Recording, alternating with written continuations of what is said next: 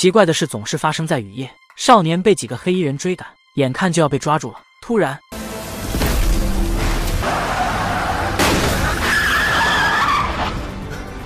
开车的男人吓得呆住了。这地方前不着村后不着店的，怎么会突然冒出个人来呢？此时，所有的路灯、信号灯都仿佛被干扰，闪烁不停。他连忙望向倒车镜，竟看见地上有一团诡异的蓝色火焰。他难以置信地揉了揉眼睛，再次望去，那蓝色火焰便消失了。只见一个少年一动不动地趴在地上，他的书包里也冒着奇怪的蓝光。男人赶紧把他送到了医院，但尽管医生全力抢救，少年还是停止了心跳。医生遗憾地宣布了死亡时间。没想到是这个结果，男人内疚地痛哭了起来。这时，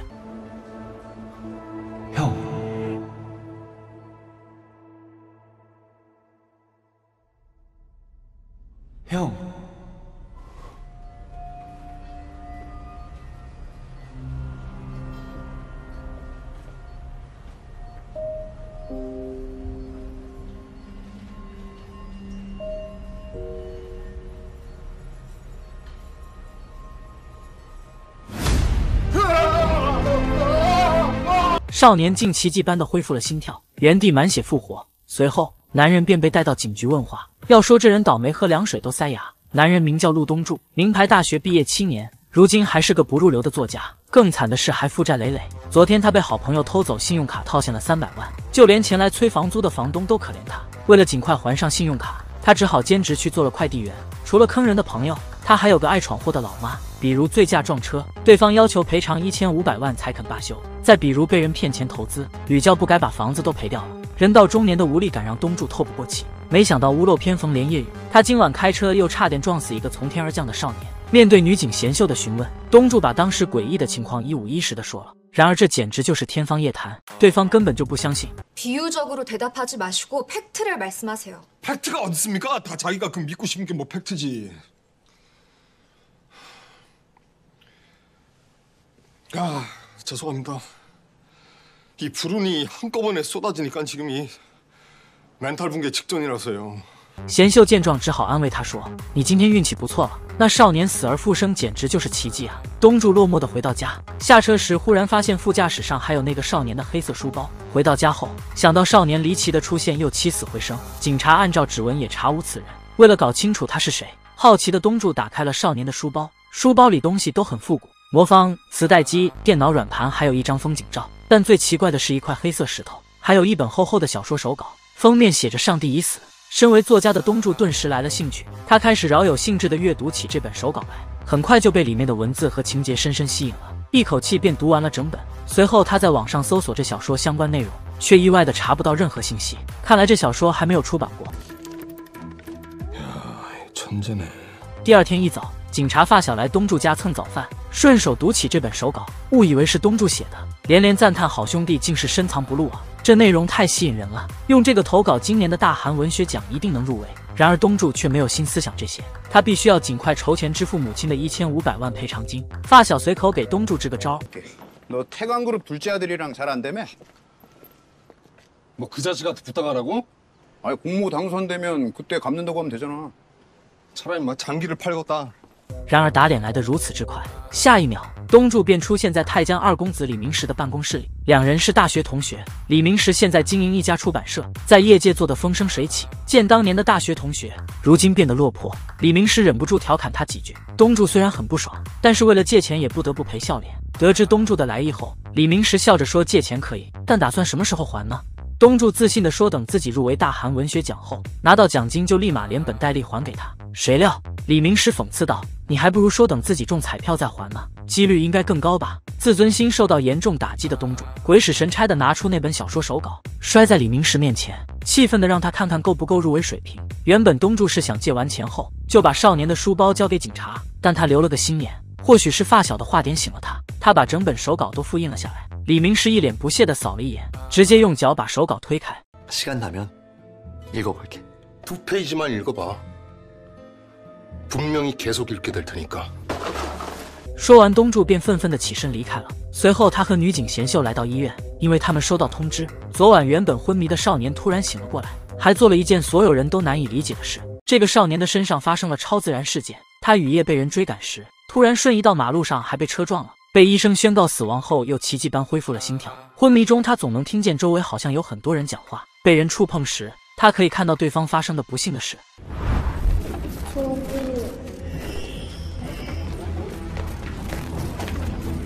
他车祸住院的当晚，更是发生了一件奇怪的事。原本应该躺在病床上昏迷的少年，竟然出现在隔壁病房里。这个病房住着的是一个植物人奶奶。只见少年紧紧握住老人的手，仿佛在感知着什么。这时，发现异常的医生们赶了过来，他们惊讶地看着这个刚从车祸死里逃生的孩子，竟然好好的站在这里。少年突然回头对医生说：“선혜한테할얘기가있어요선혜한테꼭전해야할얘기 说完便直接倒地不省人事了。第二天，警察贤秀和撞了少年的东柱便被医生叫来了医院。医生给他们讲述了昨晚发生的事情。他说，从医这么多年，自己从没有见过这样患者，还表示少年现在又重新陷入昏迷，具体什么时候能醒来也无法预计。离开医生办公室，贤秀告诉东柱，至今通过任何手段都查不到少年的身份。如果有随身物品，或许能有线索。东柱刚想告诉他少年书包的事，对方却被一通电话支走，打断了他的话。东柱自己先去少年的病房探望他。这时，他的手机也来了一个电话，是出版社的李明石打来的。이거진짜네가쓴거냐당연한걸왜물어뭐벌써다읽었어반쯤뭐읽다말았다고출판하자 뭔소리야 내가 책 내주겠다고 아니 지금 공모에 낼 거라니까 당장 돈 필요하다며 신용 없어서 뭐 못 먹고 준다며 계약하자 내가 베스트셀러 만들어 줄게 作为一个七年都寂寂无名的作家，李明石的这句话，无疑是一颗砸进东柱心窝子的糖衣炮弹。一面是仁义道德，一面是咸鱼翻身的绝佳机会。东柱陷入了两难的境地。见他犹豫，李明石继续加码，说明天就可以支付定金。东柱回头望了望昏迷中的少年，最终现实还是战胜了理智。两个月后，悬疑小说《上帝已死》一经出版，便火爆至极。 到处都是新书的宣传海报，各大书店最显眼的地方都摆着这本小说。东柱一夜之间成了炙手可热的小说家，无债一身轻。他终于开上了心仪的豪华小轿车，也搬离了那个狭小的出租屋，住进了梦寐以求的高级公寓。原本遭人鄙夷的东柱母亲，如今都跟着沾光出入高档服装店。警察发小也拿着书来找他签名，要将来跟子孙后代们炫耀。亲人朋友都以他为荣，然而只有他自己知道，靠偷来的小说得到的这一切并不心安理得。有可能在一夜之间就会成为泡影，只是他没想到那一天来得如此之快。선생님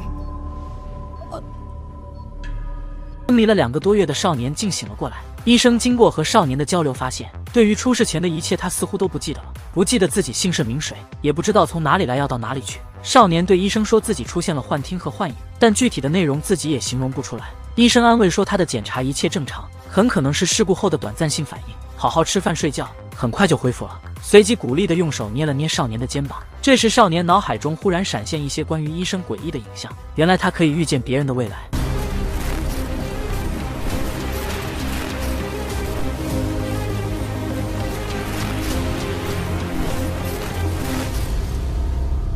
医生走后，少年想出去透透气，但当他靠近房门时，耳边再次响起各种声音。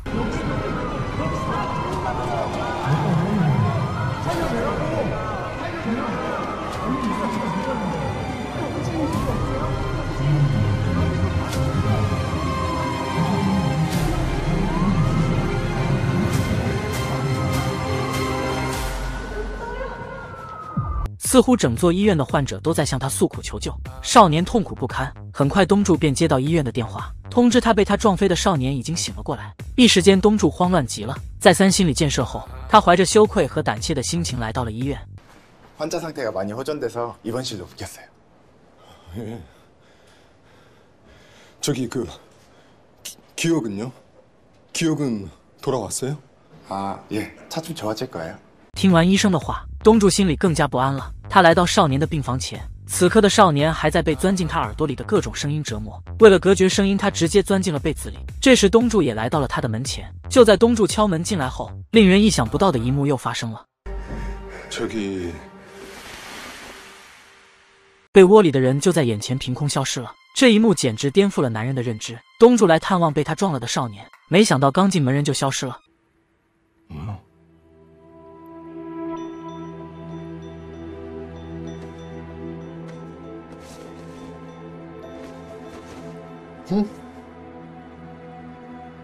어떻게 된 거야?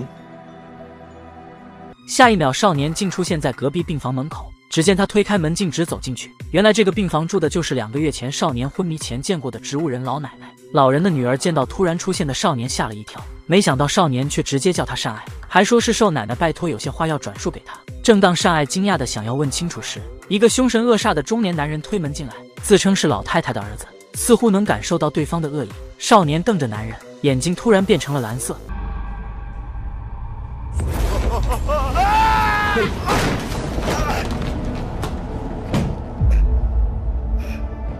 门外的东柱见状吓了一跳，随后好奇的走进隔壁病房。少年眼神又变得温和起来。他说：“奶奶马上就要去世了。”接下来这些话是他想要对女儿说的。다이해하신대요 죄책감 갖지 말고 속 끓이지도 애태우지도 말고행복하게 살아 살아. 엄마 요양원에서도 잘 지냈어. 거기 보내서 병난 건 아니니까 그러니까 미안해하지 말고 애달퍼하지도 말어. 너 살기도 바쁜데 자주 찾아와줘서 너무 고맙고 고생시켜서 미안하다. 仿佛真的听见母亲说话，善爱握着母亲的手哭了起来。这么多年受到的委屈，这一刻都释放出来了。老奶奶说，以前因为重男轻女， 自己没能对女儿像哥哥们那样好，真的对不起她。她告诉女儿自己私房钱的位置，让她拿去做膝盖的手术，剩下的钱再买点好看的衣服，并嘱咐她一定要和那个无赖哥哥断绝关系。说完这些，少年便转身走了出去，一步一踱的走回自己的房间。迷迷糊糊的东柱只好跟在他身后。进屋后，少年也终于注意到了身后的男人，突然的瞬移，又和别人说了一堆奇怪的话，还能隔空打人。刚刚见到的一切让东柱一时间忘记了介绍自己，直到少年询问他是谁，东柱才连忙解释到自己就是交通事故的司机，并真诚的和他道歉。没想到少年竟丝毫没有埋怨他，还一把握住他的手。 뭐, 뭐 하는 거야?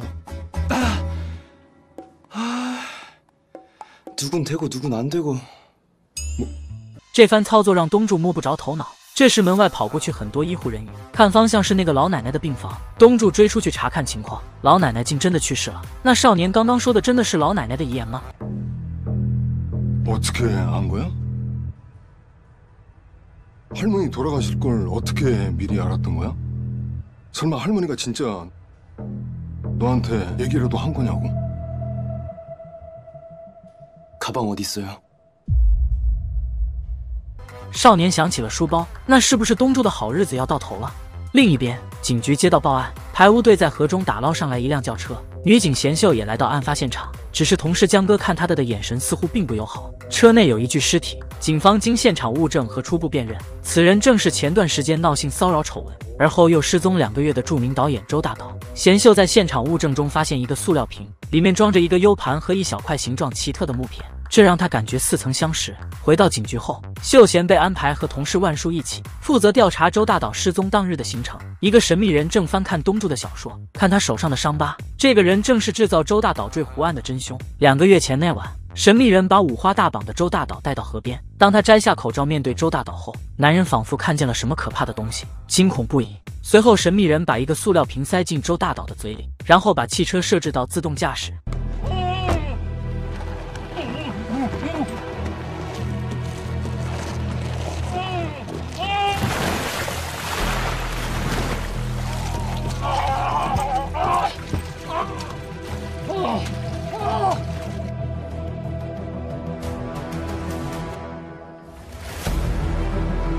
神秘人站在岸边，冷冷地看着这一切。当他摘下手套，手背上赫然两个圆形伤疤。那么，这个人为什么要会对东柱的悬疑小说感兴趣？难道他知道少年的秘密吗？一句善意的提醒，毁灭了一个家庭。得到的会是什么？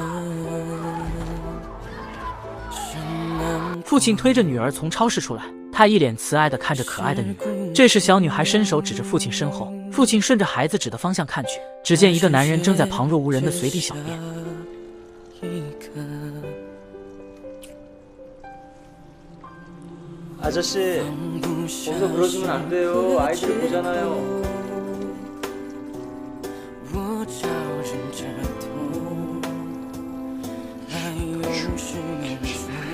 父亲感觉到男人目光并不良善，笑着跟女儿解释了一下，便推着她朝车子走去。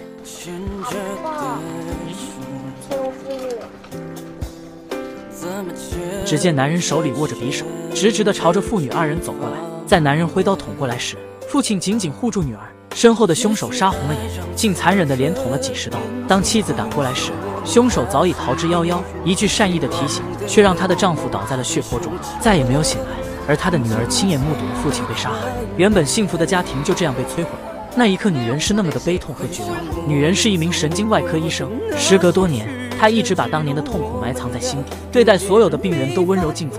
直到有一天，在医院门口休息的她突然一阵窒息，因为旁边救护车推下来的人竟是当年杀害丈夫的凶手。仇人就这样毫无预兆地出现在眼前，那一刻，愤怒仇恨的记忆瞬间占据了她的大脑。为何杀人凶手还好好活着？稳定好情绪，她向护士询问凶手的情况。 저기 재수자환자 어디로 얼마나 다친 거야? 자해를 했어요. 손목하고 이마. 심각하진 않았어요. 심신미약이라도 주저하려는 건가? 딱 그거예요. 치료받으면서도 계속 떠들더라고요. 자기 심신미약자라고. 수고해. 医生站在凶手病房的门口，冷冷地看着里面安睡的人。 既然牢狱之苦无法让这个恶魔忏悔，那么就由自己来替天行道吧。当晚，趁着值班警察上厕所的时候，医生带着致命针剂来到凶手的病房，看着熟睡的仇人，他毅然决然地将药加进了输液管内，红色的液体缓缓流向男人的血管。这时，凶手醒来，看见了医生，惊恐地瞪大眼睛。突然，时间静止了。一个少年凭空出现在病房里，周围的一切都仿佛被按了暂停键。这个超能少年是两个月前因车祸入院的，此前医生为他检查时似乎与少年建立了某种连接，少年可以感受到他身上的巨大痛苦。刚刚当医生看见凶手时，病房里的少年也真真切切感受到他的愤怒和恨意。当时前来探望他的肇事者东柱见少年突然这么痛苦，急忙出去找医生，然而也就十几秒的时间，少年竟凭空消失了。看见仇人的医生因为巨大的悲痛而呕吐，痛哭到不能自已。而少年也出现在医院的院子里，并且和医生有一样的身体反应。这一幕恰巧被四处寻找他的东柱看见。少年各种诡异的行为，着实超出了东柱的认知范围。 가까이 오지 마. 가까 가, 가까이 오지 마. 너 뭐야? 너 정체가 뭐냐고? 아니 갑자기 어, 어떻게 이 사라진 거야? 도대체 뭘 어떻게 한 거야? 너 정체가 뭐야? 나도 알고 싶어요. 어? 내가 누군지. 뭐가 어떻게 된 건지.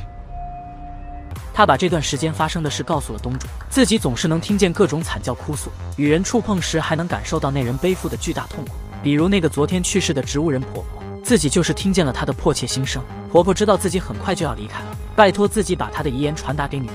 东柱虽然很难相信这奇幻的说辞，但联想到自己这些日子看到的离奇场景，他还是选择暂时接受少年有超能力这个离谱的设定。不过庆幸的是，少年无法读取东柱的内心，否则他将人家的小说据为己有的事就暴露了。为了搞清楚究竟发生了什么，少年来到医生的办公室。当他触碰到医生的丝巾时，便预知到医生想要去杀一个人，并且会在那之后选择自杀。他必须要阻止悲剧的发生。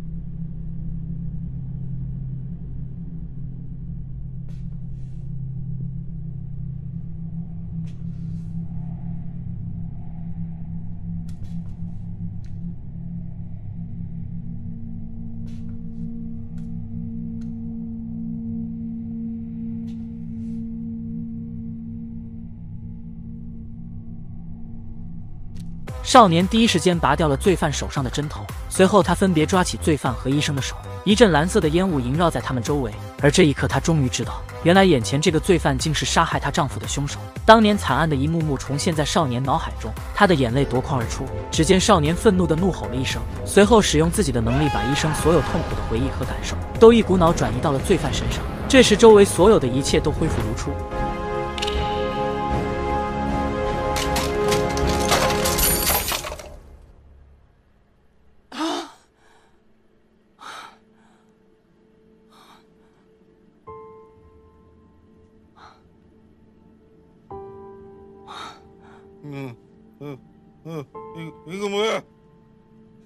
내, 내, 내 머릿속에 이거 뭐야? 그, 그만해! 제발 그만해! 사, 사, 살려주세요! 자, 잘못했어요! 살려주세요! 值班警察闻声赶来，医生面不改色地说自己听见声响过来查看，顺势收起那瓶打了药的输液瓶，趁乱牵起少年走了出病房。在走廊里，医生说刚刚他能清楚地感受到自己的痛苦转移到了凶手身上。 少年告诉他，自从车祸后自己就有了奇怪的力量，因而一触碰到医生就能感受到他的绝望。但他不希望医生因此走上绝路。相比较死亡，这样背负着被害人的痛苦活着，对凶手来说是最好的惩罚。医生虽然对少年身上的能力感到不可思议，但他并不害怕，相反无比轻松。那块压在心上多年的石头终于被移开了。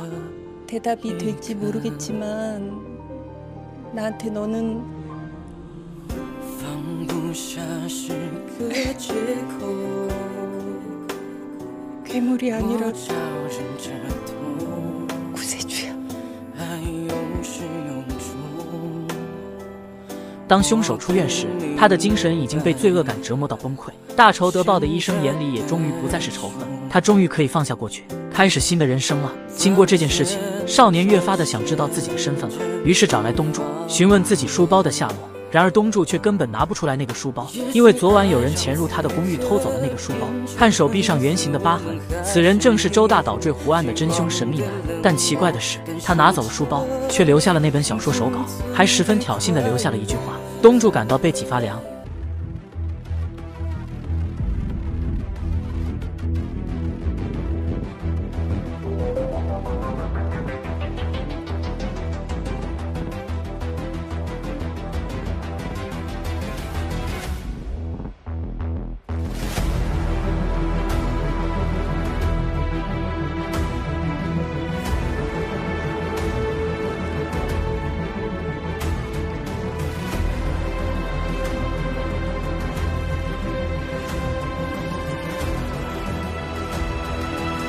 这个口吐白烟、眼冒蓝光的少年拥有一种超能力，他可以瞬间移动，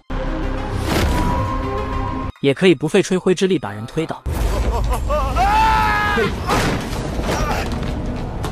甚至可以读取别人内心最深处的秘密。这天，男孩被一群人追赶，关键时刻，男孩使出了瞬移，结果。这场车祸让男孩失去了记忆。等他醒来后，唯一记得就是自己的黑色书包。他向东柱索要，可东柱却一直支支吾吾，因为黑色书包不见了。这天深夜，一个神秘男子潜入东柱的高级公寓，看着熟悉的伤疤，这个男人正是杀害周大岛的凶手。他没有拿任何值钱的东西，只对一个破旧的黑色书包感兴趣。当东柱回来后，发现黑色书包不见了，而原本应该在书包里的小说手稿却莫名出现在办公桌上。封面上还有人留下一句话：“是哪一边？光明还是黑暗？”并署名凯。东柱有点慌张了。显然，这个偷走书包的人知道自己的秘密，但东柱不知道的是，自己因为这个书包可能陷入了一场危机。这个是号称韩国天上人间的福尔咖啡馆，它实行会员制，而权力、财富、地位就是会员的门槛。这里只招待所谓的上流人士，会员们可以享受到一对一的贴身服务，他们在这尽情喝酒打牌。放松身心。然而，这个上流人士的乌托邦今天却迎来了两位不速之客：警察贤秀和万叔。接待他们的是老板娘江慧晶，这气定神闲的模样，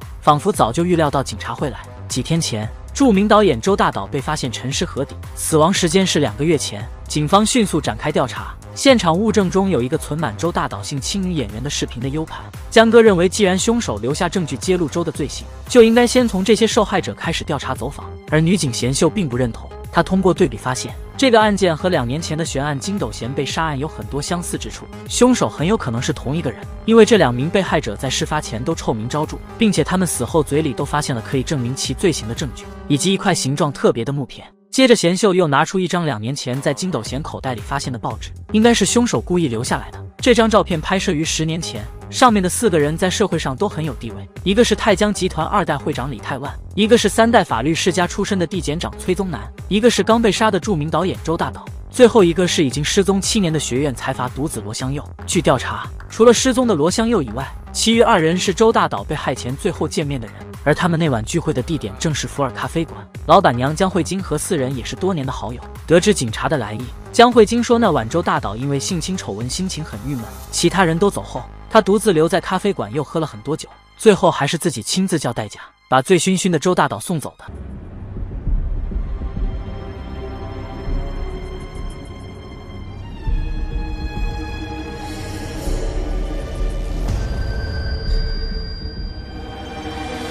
见他如此淡定，贤秀便问他四个好友中，一个失踪，一个被杀，觉不觉得很蹊跷，或者有什么可疑的事？江慧晶却微笑着回答：“这不应该是你们调查的事吗？”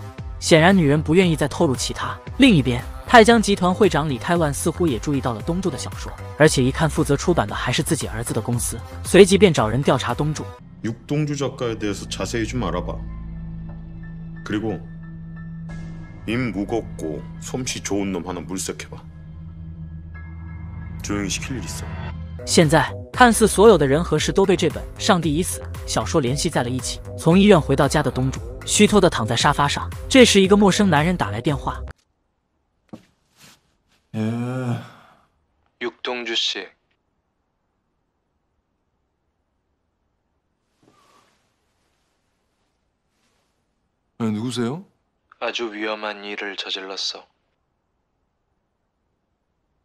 무슨말입니까세상에나오면안되는소설이었거든东柱也猜到了，正是偷走书包的杀手男。对方称赞小说改的不错，但结局不对，他会以自己的方式来结局。有把柄在别人手里的滋味不好受。东柱要求见面聊，男人却说时机成熟自然会见面的。说完便挂了电话。看来别人的东西真的不要随便拿，因为你不知道他换来的是糖果还是毒药。 秋风簌簌的街道上，一个衣着单薄的小男孩站在马路边瑟瑟发抖。车内的少年直直的盯着小男孩，而一旁的作家东柱却什么也没看见。正当他奇怪时，少年跑下车追上去，小男孩似乎引领他去什么地方。另一边，东柱也赶紧停好车追赶少年，终于在一个涂鸦墙边找到了他。只见少年呆呆的盯着涂鸦，一声不吭，身边也不见小男孩的踪影。这时，他蹲下来，用手触碰涂鸦。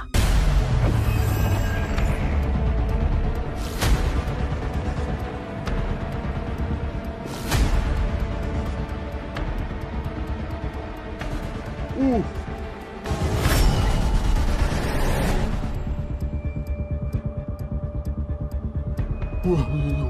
这一个闪现可把东柱给整蒙圈了。少年出现在一个杂乱的房间里，地上蜷缩着的正是刚刚那个小男孩，他浑身上下都是伤痕，此刻正奄奄一息。刚刚自己看见的，应该是小男孩的意识在向他求救。少年急忙抱起男孩，想要去医院，却发现门被反锁着，根本打不开，就连窗户也都用栅栏和铁丝封死了。这里简直就是一个封闭的牢笼。少年用力的敲门，呼喊着：“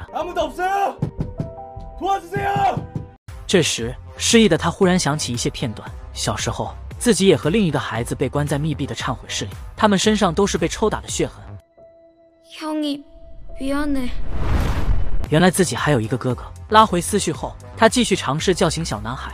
然而这次的触碰激发了他的异能，他看见了这个孩子的遭遇。小男孩竟是被亲生母亲虐待成这样的，一年四季他都被锁在这个小黑屋里，穿着单薄的背心短裤。妈妈每隔一周才会送来一袋饼干。孩子已经很久没吃过一口热乎的饭菜，心情不好还会打得他遍体鳞伤。得知真相后，少年的眼睛变成了蓝色，只有在他极其愤怒和憎恨时才会激发。就这样，紧锁的房门被神秘的力量轻而易举地打开了。此时，男孩的母亲正巧回家了。女人被眼前这蓝眼睛的陌生人吓得惊慌失措。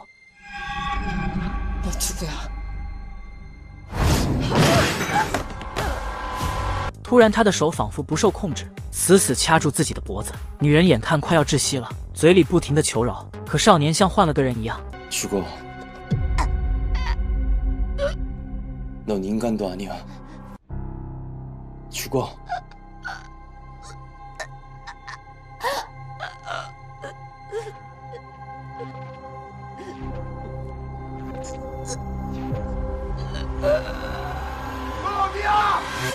这时，窗外东柱的吼叫声让少年恢复了理智。刚刚东柱在巷子里急得原地打转，他仔细研究少年触摸的涂鸦，发现房子旁边画着一个红色邮箱。他立即开始在巷子里寻找，终于找到了带红色邮箱的房子。失去神秘力量控制，男孩的母亲瘫坐在地上，少年赶紧抱起孩子跑了出来，和东柱一起把他送往医院。临走时，少年还顺手把那个恶毒的母亲锁在了房间里，以彼之道还施彼身。好在送医及时，小男孩暂时脱离生命危险，而虐待孩子的母亲也被警察逮捕了。等待他的将是满是铁窗的牢狱。逃离了母亲的魔爪，小男孩的脸上终于露出开心的笑容。李医生告诉东柱，少年身上也有很多旧伤疤，很可能小时候也遭受过虐待。这些话不免让东柱更心疼少年，于是他决定在少年找到家人前，自己来照顾他。另一边，警察贤秀和万叔再次来到福尔咖啡馆，经过调查得知，出事那晚从这里开车把周大岛带走的。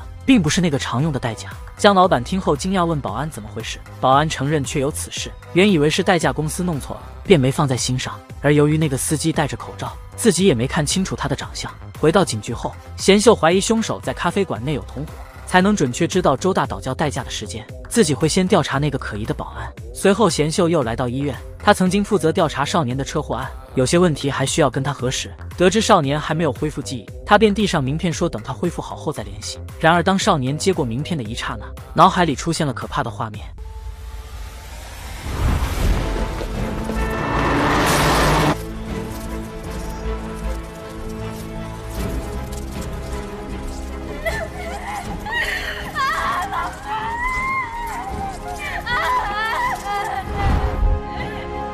这些应该都是贤秀心里最大的痛苦和绝望。少年因为共情流下了眼泪，而贤秀也仿佛想起了那些过往一般，泪如雨下。好在这时东柱走了进来，见少年口吐白烟，知道他又使用超能力了，连忙解释说这都是车祸后遗症，搪塞了几句便送走了贤秀。晚上回到家，发小拿出可是猫眼记录的录像，潜入东柱家那个人，东柱根本不认识。发小让他赶紧报警。报警就等于把自己偷小说的事公之于众，东柱可不敢，他便搪塞说应该就是个狂热粉丝，曾经给自己打电话说不满意结局。发小见状只好叮嘱他小心点，然而他不报警，警察却直接找上门来。这天女警贤秀来找东柱，问他为什么要给自己记一本《上帝已死》。东柱一头雾水说没记过呀，这就奇怪了。然而他接下来的话让东柱惊出了一身冷汗。소설속살인사건이현실에서일어나고있어요뭐뭐라고요 우연이라고 하기엔 너무 유사한 사건이 현실에서 벌어지고 있어요. 이 소설 속 이야기 전부 육동주 씨 창작인가요? 이 소설 육동주 씨가 쓴 거 맞아요?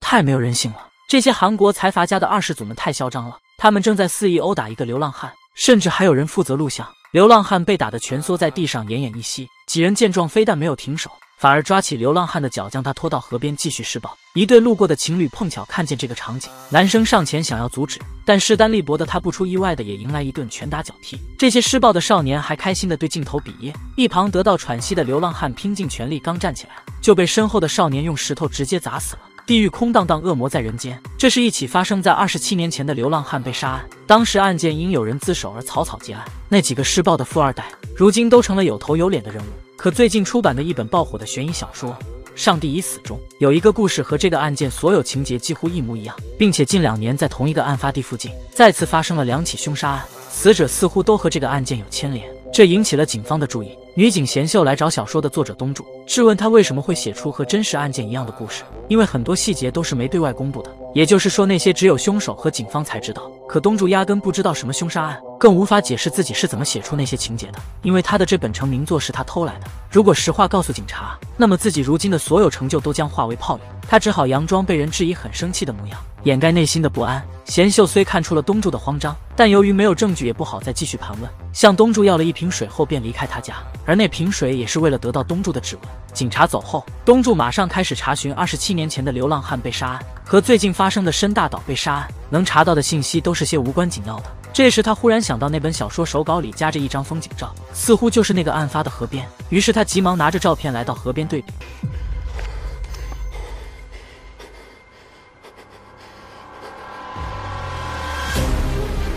미친새끼무슨짓을저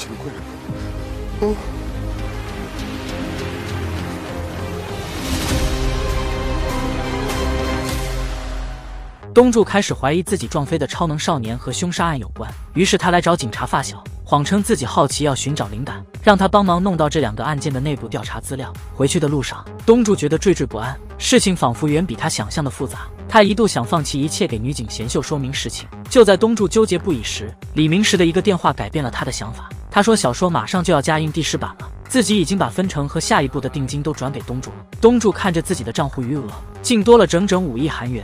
看着账户上这么多个零，他瞬间把心虚和慌乱都抛之脑后，去他的匡扶正义吧。 아무 일 없어 괜찮아 육동주 이대로 그냥 앞으로 달리는 거야 그냥 앞으로 그냥 달려 그냥 달려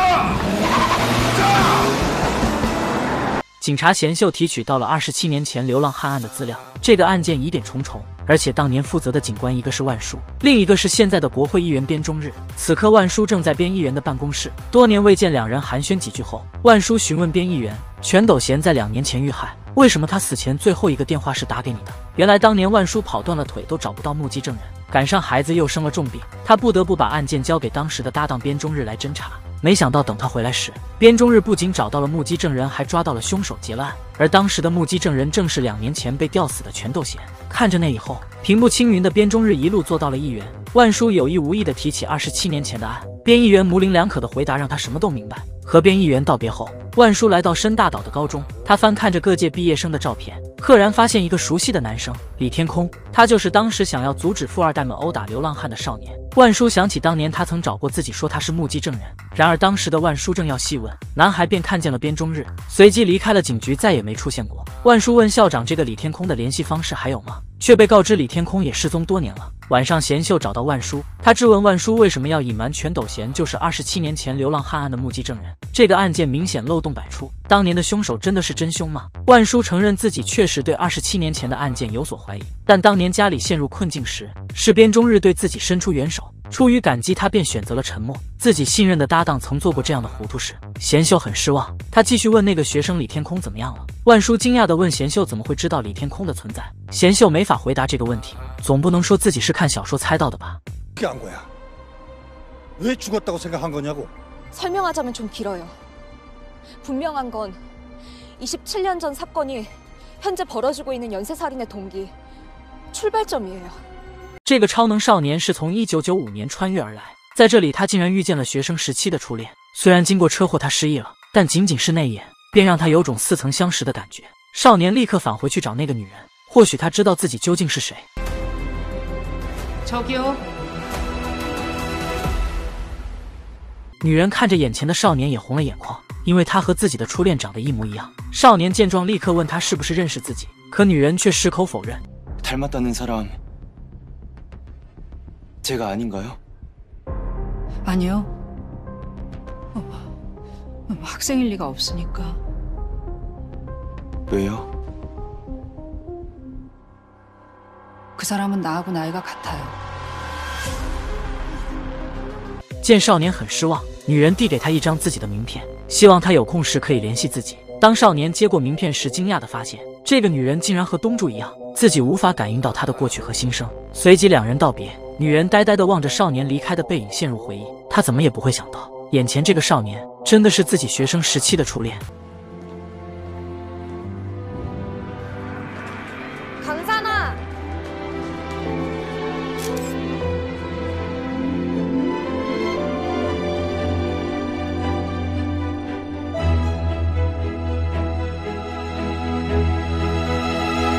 原来少年叫江山，来自一九九五年。等江山做完检查后，东柱刚好来接他出院。他答应了江山，在他恢复记忆或者找到家人前，自己会照顾他。东柱知道江山有感知别人痛苦的能力，又喜欢管闲事，便再三叮嘱他，无论在听见什么、看见什么都不要管了。江山虽然答应着不会惹麻烦的，可下一秒就把他的话当成了耳旁风。从医院离开，东柱带江山去买了最新款的手机。拿着新手机的江山乐得合不拢嘴。这时，东柱发现自己的银行卡落在店里了，便急忙回去取。可等他再出来时，江山却不见了踪影，打他手机也无人接听。就在他焦急的四下寻找时，忽然接到了警局打来电话，原来就在刚刚，江山在路边开心的摆弄着新手机，一个女孩路过时撞了他一下。只见江山突然收起了笑容，嘴里冒起了白烟，那一下触碰他便感受到女孩想要自杀，于是他连忙跟了上去，一路尾随跟着女孩进了书店。这时的女孩也察觉到了似乎有人在跟踪自己，于是迅速离开了书店。她的脚步越走越快，身后的江山也加快了步伐，紧紧跟着她。见状，女孩吓得立即跑进了警察局，说有变态跟踪自己。就这样，江山被抓进了警察局。当被问到为什么要尾随女孩时，他望向女孩。然后让警察们惊掉下巴，一幕发生了。 쫓아간 이유가 있을 거 아니야. 죽으려고 해서. 죽을까봐 따라간 거야. 말리고 싶어서. 내가 죽든 말든 네가 뭔데 상관이야? 스토커 맞지 너? 내가 죽으려고 한 거 어떻게 알았어?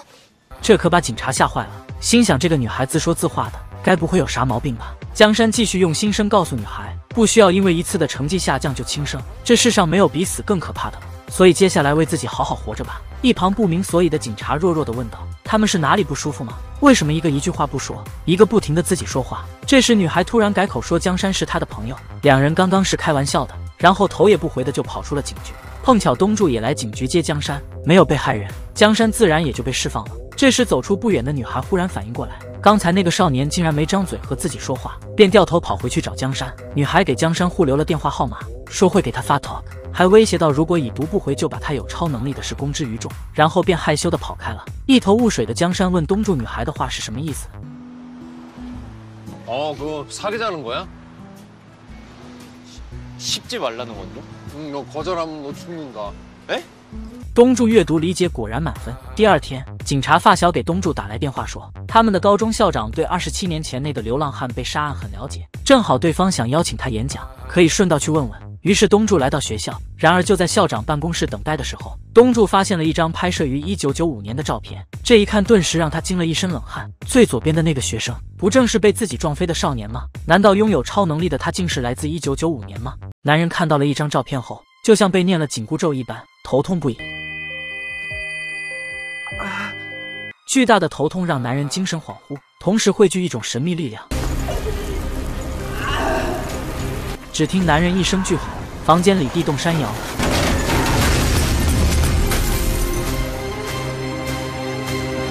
这张照片到底有什么魔法，能够让一个男人如此痛苦？东柱惊讶地看着眼前的照片，不久前被自己撞飞的少年竟出现在一张1995年的照片上，而且他的发型、鞋子都和照片上一模一样。东柱赶紧询问校长这人是谁，得知照片上的少年原名叫李江山，和他的哥哥李天空是相依为命的孤儿，两人从小生活在一个教会管理的孤儿院里。哥哥李天空就读于知名的泰康高中，他被称为天才少年，成绩优异，并且擅长写作。令人惋惜的是，不知为何，1995年李天空离奇失踪了。他弟弟江山曾去警局报案。而当时的警察认定李天空是自愿离家出走，无论江山怎么解释都不理会。此事没过多久，江山也相继失踪了。校长告诉东柱，李江山当年最好的朋友在学校教书，可以去找他聊聊。与江山好友交谈中，东柱得知李江山后背上有很多陈年伤痕，所有的线索串联在一起，这下全能解释得通了。少年在电闪雷鸣的雨夜凭空出现，撞上了自己的车，能死而复生，还有着各种厉害的超能力，对所有现代的产物都感到新鲜。最喜欢的音乐都是九零年代的。他现在可以断定，自己家里的少年正是从一九九五年穿越而来的李江山。东柱又联想到警察贤秀那天在家里所说自己剽窃的那本小说，搞不好是江山的杀人日记啊！这时他好像想到什么。 이름이 뭐예요? 이강산 형 이름이요. 하늘. 예? 스카이. 一样的。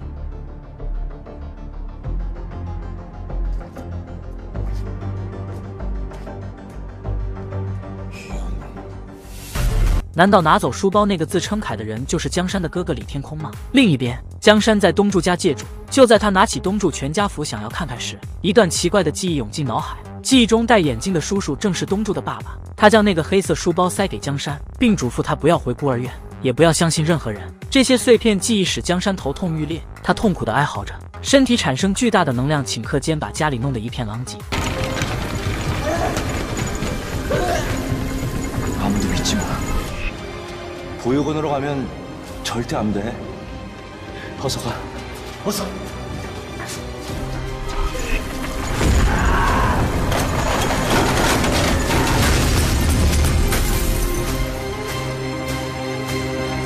碰巧警察贤秀来找东柱了解小说的情况，在门口听到了叫声和碰撞声。正当他打电话准备求助时，大门竟自己打开了。贤秀走了进去，却只看见江山一个人。他开始四下寻找其他人的身影。见状，江山解释说没有别人，是自己把屋子弄成这样的。可贤秀根本不相信。无奈之下，江山只好说出自己会超能力的秘密，而且他记起来曾经见过东柱的爸爸。这些话对于贤秀来说简直就是天方夜谭。他曾查过东柱的个人信息，他爸爸是二十七年前车祸去世的。按照年龄还没出生的江山，怎么可能见过他？他认为这是创伤后应激障碍导致的记忆混乱。可江山却坚持说自己出车祸时身上的黑色书包就是东柱爸爸给的，只是书包被东柱弄丢了。贤秀这才知道东柱当初隐瞒了书包的事。此时贤秀不再纠结江山说的是否属实，他趁着少年收拾屋子时，偷偷取走了屋里监控的存储卡。还顺手拍下了小说手稿上署名凯留下的那句话。取证完，贤秀便借口有事离开了东柱家，回到警局。贤秀告诉万叔，二十七年前流浪汉案以及最近发生的全斗贤和周大岛谋杀案，都与小说《上帝已死》里面描述的案件相同，只是其中流浪汉案的真相与现实大相径庭。小说中真正的凶手是四个有权势的富二代，而且从叙述的视角来看，很像是当年流浪汉案件的真正目击者李天空所述。根据目前的线索。失踪的李天空有可能没死，而且还在复仇。而小说作者陆东柱小时候和李天空曾生活在同一个街区，并且那么了解那些凶杀案，他肯定和李天空有关联。如果连环凶手真的是李天空，那万叔一定很后悔，因为当年李天空曾找过万叔，要说关于流浪汉被杀案的事情。但那时万叔因为家里有事，便把李天空移交给还是警察的边中日接待。正是这一举动害了李天空。当时李天空把自己亲眼目睹四个富二代杀害流浪汉的事，一五一十的告诉了边中日，甚至还告诉他自己有录像带作为证据。没想到在那之后，万叔便再也没有见过李天空。万叔带着李天空的照片来询问已经是议员的边中日，那日少年究竟和他说了什么？可对方却满不在乎地说根本不记得这个孩子是谁。尽管如此，万叔也已经看透了这位曾经的好同事，真的为了仕途做了许多肮脏事。与此同时，贤秀收到同事的调查结果，几天前给他送来《上帝已死》小说的人，竟然是二十七年前流浪汉案被判了二十五年的凶手卢明南。他两年前刚刚刑满释放。贤秀不明白他为何要把这本小说寄给自己，是想要洗脱冤屈，还是另有目的？这是一场谋划了二十七年的复仇。一九九五年的一个夜晚。少年李天空亲眼目睹了同校的富二代们虐杀一个流浪汉，势单力薄的他没能阻止惨案的发生。这些学生都是出自有权有势的财阀家族。案发后，他们买通办案刑警。原本前途光明的李天空因告发此事而莫名失踪多年，警方还抓来另一个流浪汉卢明南，屈打成招做了替罪羊，使其白白受了二十五年牢狱之苦。现在卢明南已刑满释放，而消失多年的李天空也再次归来。他们要让那些逍遥法外的恶魔们受到惩罚。近几年间。当年做伪证的全斗贤被发现吊死在流浪汉被杀的河边，知名导演周大岛被发现沉尸河底，著名教授罗香佑也失踪多年。这些连环凶案发现的线索都显示与二十七年前的案件有关。而警察贤秀发现，一本刚问世的悬疑小说里描写的案件，竟和这几起凶杀案几乎一模一样，仿佛就是凶手的自白。而那本小说的作者就是东柱。东柱偶然通过一张一九九五年的照片得知，自己不久前撞到的少年原名叫李江山，而自己从他书包里偷来出版的小说，可能与二十七年前那桩凶杀案有关。江山很可能就是这本小说的原作者。他记起不久前出版社的编辑曾说过，被杀的导演周大岛曾写过一个剧本，也是描写二十七年前那个流浪汉被杀案，内容和东柱的小说高度相似。而且周大岛和江山的哥哥李天空都是泰康高中毕业的。越来越多的信息指向小说里的案件是真实的，于是东柱开始梳理已知的线索。小说中凶手有四人，一人出身财阀世家，一人出身法学世家，一人出身教育世家。最后一人应该就是刚死不久的导演周大岛了。目击者李天空很可能是给自己留言的凯，而他的弟弟李江山带着“上帝已死”小说从一九九五年穿越而来，还带有各种超能力。梳理出这一切，东柱更紧张了，自己必须要先与警方找到李天空，问清楚关于小说的事，否则他迟早因剽窃身败名裂，或者被当成嫌疑人抓起来。东柱在自己的小说贴吧发帖，东柱写给天空的信，希望李天空看见后能再次联系自己。只是东柱引来的不是李天空，而是现任泰江集团会长李泰万。堂堂集团会长竟对他的小说产生浓厚兴趣，还要求见东柱聊一聊。难道当年凶手中那个财阀世家的富二代就是他吗？与此同时，警方也没闲着。贤秀找到人像测写师，希望通过二十七年前的照片推演出李天空现在的画像。而万叔则是找到了开洗衣店的卢明南，问他知不知道两年前全斗贤被杀了。没成想，卢明南一见万叔，立马开车逃走了。在他心里，当年袖手旁观的万叔和边中日是一伙的。躲在一旁的李天空也看见了这一幕。很快，贤秀便接到了卢明南的电话。他说自己从来没有杀过人，无论是二十七年前的流浪汉，还是全斗贤，是警察把自己变成替罪羊。贤秀立刻表示自己相信他，先见面再从长计议。可卢明南只说不会再上第二次当了，便挂断了电话。警方要对卢明南进行通缉。这时，万叔找到警长，说出了当年的事。현직국회의원이자전직형사였던변종일이힘께나쓰는양반들사주받아서사건을은폐조작했고 나도 공범이란 얘기지 저봐 왜 이러세요? 증거도 없이 이러시면 안 되죠. 내가 담당했던 사건이야. 다른 건 몰라도 노명남이 27년 전 사건의 진범이 아닐 확률이 높아. 这可把警长吓够呛。万叔表示希望重新调查二十七年前的案件，即使自己会身败名裂也无所谓，因为他是解开近期连环凶案的关键。警方立即开会讨论案件。贤秀根据现有线索推断这几个案件之间的关联，甚至说自己大概率可以找到失踪多年的罗香佑。面对他的信心满满，同事江哥一盆冷水泼下来，说他这些所谓的推理不过是来自一本悬疑小说而已。这让会议陷入了僵局。江山原本要去找医院遇到的那个女人，结果在路上看到一个教诲。这时，一些记忆碎片又涌入他的脑海，瞬间头疼欲裂。他记起自己和哥哥小时候就是在教会里遭受虐待，施暴的人手拿圣经，道貌岸然。突然，江山的眼睛变成了红色，下一秒，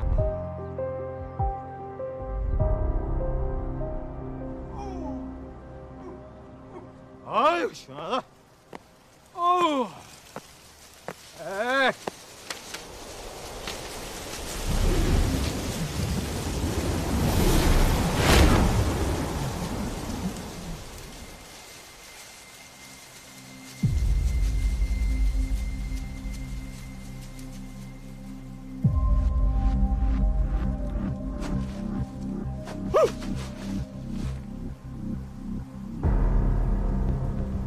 여기가 아저씨 여기가 어디예요? 저, 저기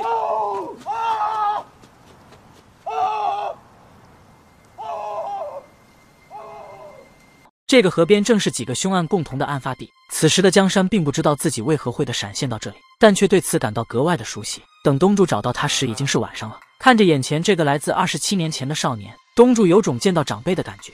江山对东柱说：“虽然很离谱，但他依稀记起那个黑色书包是东柱爸爸塞给他的，好像就是出车祸的那天。而且他还记得见面的地点是东柱书店。原来二十七年前出事后的李天空曾联系过东柱爸爸。” 여보세요 하늘이니? 하늘이 맞지? 하늘아 아저씨, 너 어떻게 된 거야? 대체 무슨 일이야? 看得出来他们关系匪浅。电话这头的天空不停地四下张望，仿佛在躲着什么人一样。他告诉东柱爸爸，自己把一个书包藏在车站储物柜里，钥匙放在公厕马桶的水箱中。这也就解释了为何东柱爸爸会有那个书包，还把书包交给了天空的弟弟江山。这些话让东柱越发混乱了。 他跑回车里开始翻看小说，果然找到了书店的场景。书店出现在小说的第一幕和第二幕之间。第一幕是李天空目睹凶案的过程和遭遇，第二幕则是凯的复仇计划。爸爸把书包给李江山时，原稿已经在书包中了。后面发生的事凯并不知情，所以书中没有写。 가방 얘기도 동생 실종 얘기도 없어. 뭐 하는 거예요?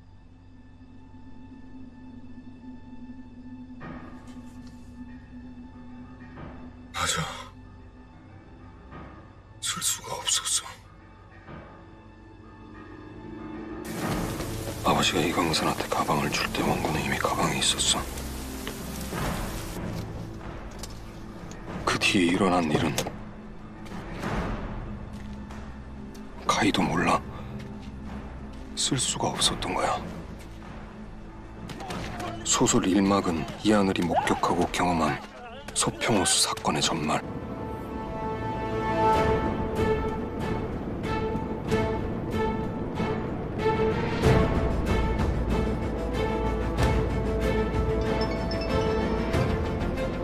이막은 카이의 복수 계획. 일막과 이막 그 사이에 아버지 얘기가 있어. 카이도 모르는 숨겨진 이야기.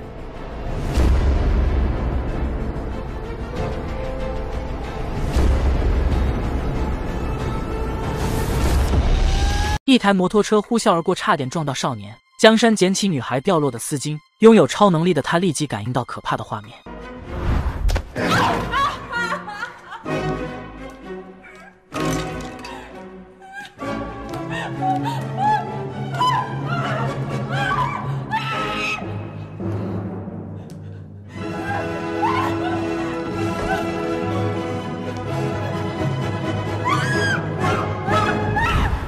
도와주세요。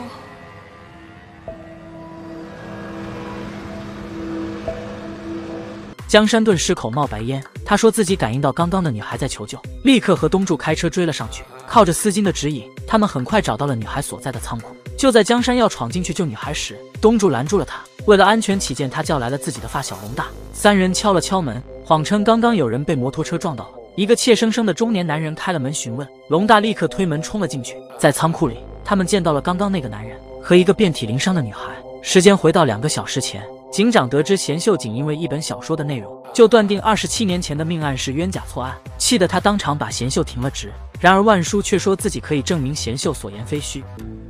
변정일이노명남을폭행하는걸보고도외면했어노명남진술이앞뒤가안맞는걸알면서도묵인했다고내가 没想到这么多年勤勤恳恳的万叔会说出这样的自白，这引起了警长的重视。他们准备着手调查这件事。这时，万叔接到李天空打来的匿名电话，他提醒警察说，所有事情的关键都在于一个字——钱。说完便挂断了电话。几乎同时，秀贤跑进来说，卢明南刚打电话来说他绑架了议员边中日的女儿。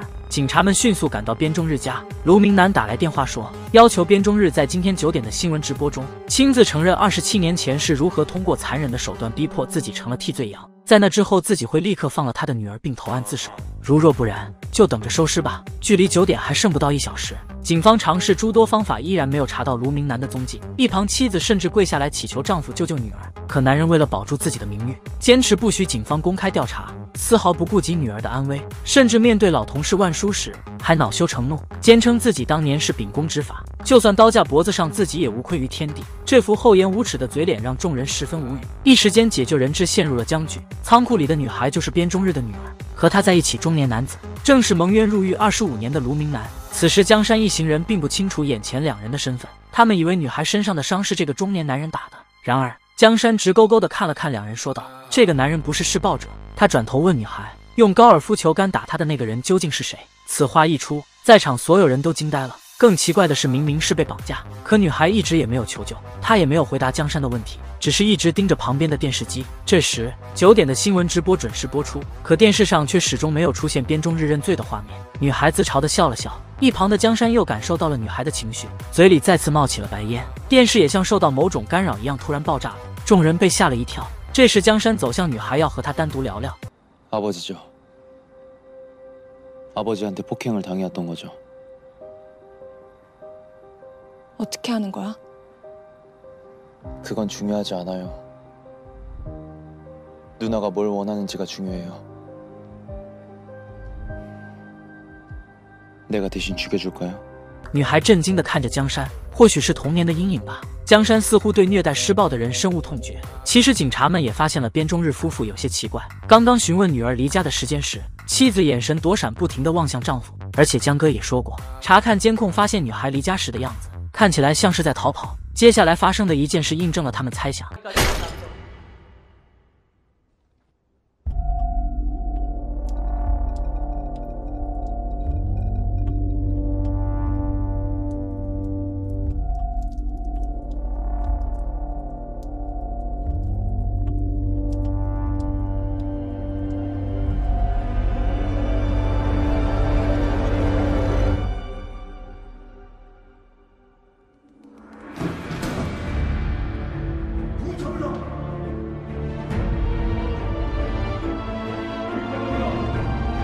随后，边中日便被送上了救护车。经其妻子闹这么一出，议员女儿被绑架的事便被媒体知道了。警方也终于可以顺理成章的公开通缉卢明南。万叔想要安慰边中日的妻子，赫然发现他手中握着的十字架吊坠，竟和连环凶杀案证物中的奇怪木片如出一辙。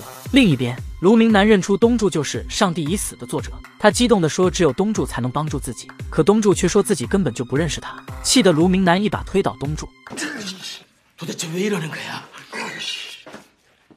제 말이요. 대체 저한테 왜 이러시는 겁니까? 어떻게 날 모를 수가 있어? 제가 아저씨를 어떻게 알아요? 네가 소설에다 썼잖아.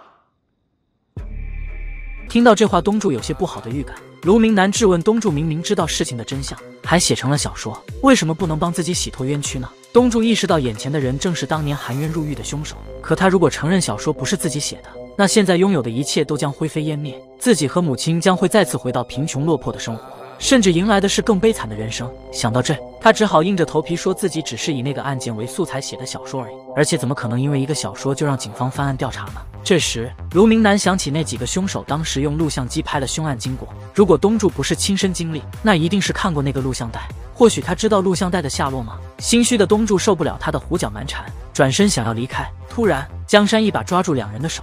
他虽然不能读取东柱的记忆，但是却可以让他看见卢明南的过去。当年他目睹了几个富二代的罪行后，被刑警编中日抓回来连夜审问，在历经了各种各样残忍的逼供手段后，身心俱创的卢明南不得不背下了黑锅。突然回忆中断，因为江山又凭空消失了。众人还没反应过来，只见警察龙大举着枪冲了进来。就在刚刚，龙大因为有新的警情被叫回去待命。在路上，他看见总部发来的协查通报，这上面的绑架犯和被害者竟然就是刚刚见到的二人。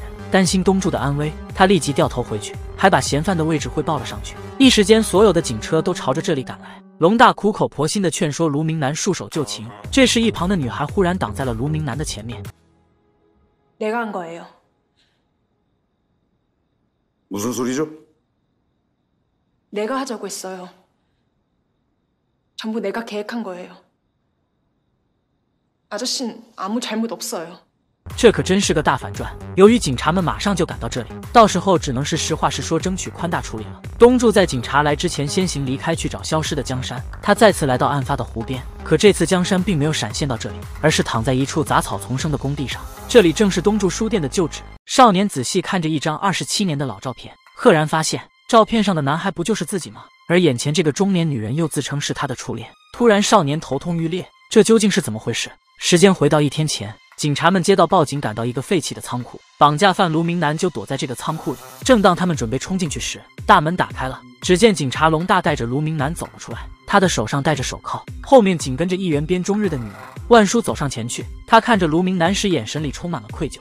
而刚刚被解救的女孩突然对贤秀说：“这场绑架实际上是自己策划的，卢叔叔是无辜的。”贤秀听后有些意外，便把他们都带回了警局。龙大把提前准备好的说辞讲给办案刑警听，他隐瞒了东柱和江山原本也在仓库的事，因为当时东柱告诉龙大，由于一些不能说的秘密，他必须要在警察来之前离开。龙大虽然不明白东柱在说什么，但身为最好的朋友，他选择无条件相信东柱。或许是刚刚通过江山的超能力看到卢明南的遭遇，东柱良心发现，他决定帮卢明南找到能证明他清白的证据，而且不知为何，他的脑海里突然出现自己儿时的画面。二十七年前还是孩童的自己曾见过边中日。那日边中日偷偷溜进东柱家，正翻找着什么，碰巧被小东柱撞见。他笑着告诉小东柱，自己正在执行一个秘密任务，不能对任何人说。回过神来，东柱终于明白了，无论是二十七年前还是现在，他们在找的都是案发时的录像带，而且很有可能那卷录像带是在爸爸手里。时间再次回到一九九五年那晚。当年接到李天空的电话后，东柱爸爸立刻去取走了黑色书包，而记录案发经过的录像带就在书包里。那些人竟然还将其命名为“庆典之夜”。这时，李天空的弟弟李江山来到书店，他焦急地询问东柱爸爸是否知道哥哥的下落。东柱爸爸告诉他，李天空遇到了点麻烦，从现在起他不要相信任何人，无论是警察还是孤儿院的人。这时，敲门声再次响起，这次登门的是警察边中日，而旁边停着的车内坐着一个手上纹着十字架的男人。东柱爸爸立刻让江山带着书包从后门离开，而那卷录像带应该是被东柱爸爸藏在书店的某处。想到这，东柱立刻给妈妈打去电话，询问妈妈记不记得家里有一卷二十七年前的录影带。可妈妈稀里糊涂的，根本想不起来。没办法，东柱只好拜托妈妈帮忙找一找。挂断电话后，妈妈自言自语道：“好像当年有个牧师也问过录像带的事。”突然家里传来关门声，好像刚刚有人出去了。妈妈这才想起，刚进家门的时候灯是亮着的。抽屉也是开着的，吓得他以为家里进了小偷，马上追了出去。刚好看见那人发动汽车逃跑了。东柱妈妈迅速记下了车牌号。刚刚那潜入东柱妈妈家的人，竟是泰江集团会长李泰万派来的。他知道了东柱也在找录像带，看来背后的真凶也坐不住了。在和妈妈通完话后，东柱坐下来查看贴吧，发现之前的帖子并没有引起李天空的注意。随即他又发了一条，希望这次能吸引李天空联系自己。东柱忙着找录像带。把刚刚凭空消失的江山忘在了脑后。江山从工地走出来，他想起东柱曾说过，这里拆迁之前就是东柱书店，而他也好像记起来自己应该生活在一九九五年。这时手机收到一条视频，是上次那个要自杀的女孩发过来的。视频内容竟是江山突然出现在河边的场景，随即女孩打电话来告诉他，这个视频被人传到油管上了，现在热度很高。但好在大部分网友还是质疑视频的真实性。之后江山回到家，碰巧遇见正要出门找他的东柱，东柱着急的问他为什么不接电话，可江山却和他发起火来，质问他为什么要欺骗自己。二十七年前河边发生的事是不是和自己有关？被这件事弄得焦头烂额的东柱也忍不住吼起来。他解释说时机到了会把一切告诉江山的，可江山根本不听他的解释，气呼呼的回了房间。上楼前还顺手拿了一本东柱的小说。第二天是东柱的签售会，他耐心的给每位书迷写下祝福的话语。这时轮到一个女中学生，她说有位大叔拜托她把这张纸交给东柱。东柱打开一看，上面写着是凯约他见面的信息。他立刻从座位上弹了起来，询问女孩给他纸条的人呢？顺着女孩手指的方向，东柱看见了李天空，两人隔着人群对望着。冥冥之中，命运的安排就是这么神奇。二十七年前还在上高中的李天空和东柱的爸爸是忘年交。东柱小时候最喜欢的汽车模型就是李天空送的。他看着现在长大成人的东柱，露出了一抹欣慰的笑容，然后转身离开了。这时，一个黑衣男子紧随其后走出了书店。李天空也察觉到有人正在跟踪自己，于是他来了个五秒大变装，然后掉头回去和对方走了个照面，就这样摆脱了黑衣人。当李天空再次路过书店门口时，咖啡店女老板突然出现在这里。李天空路过她时，有意无意的碰了碰她的手。再看女人的复杂表情，似乎也认出了眼前的人。他们之间曾有过什么过往吗？东柱办完签售会准备离开时，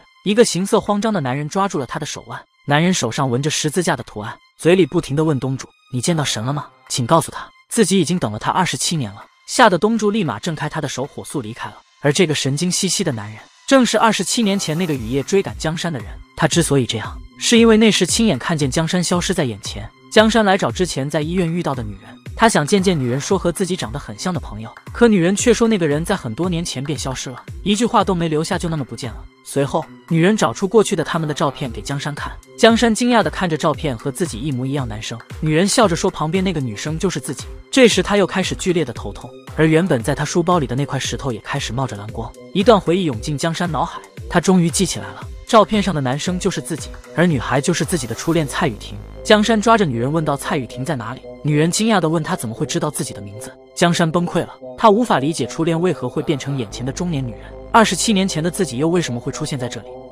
내가아는세상도내가아는사람들도전부다사라졌다고요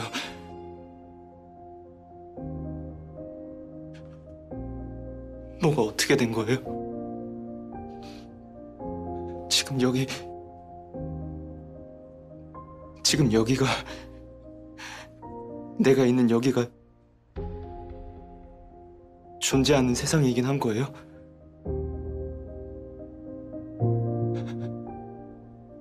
이해가 안 돼요. 아무것도 모르겠어요.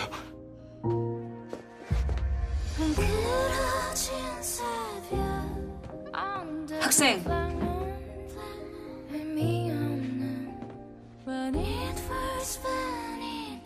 내 이름은 이강산이에요. 감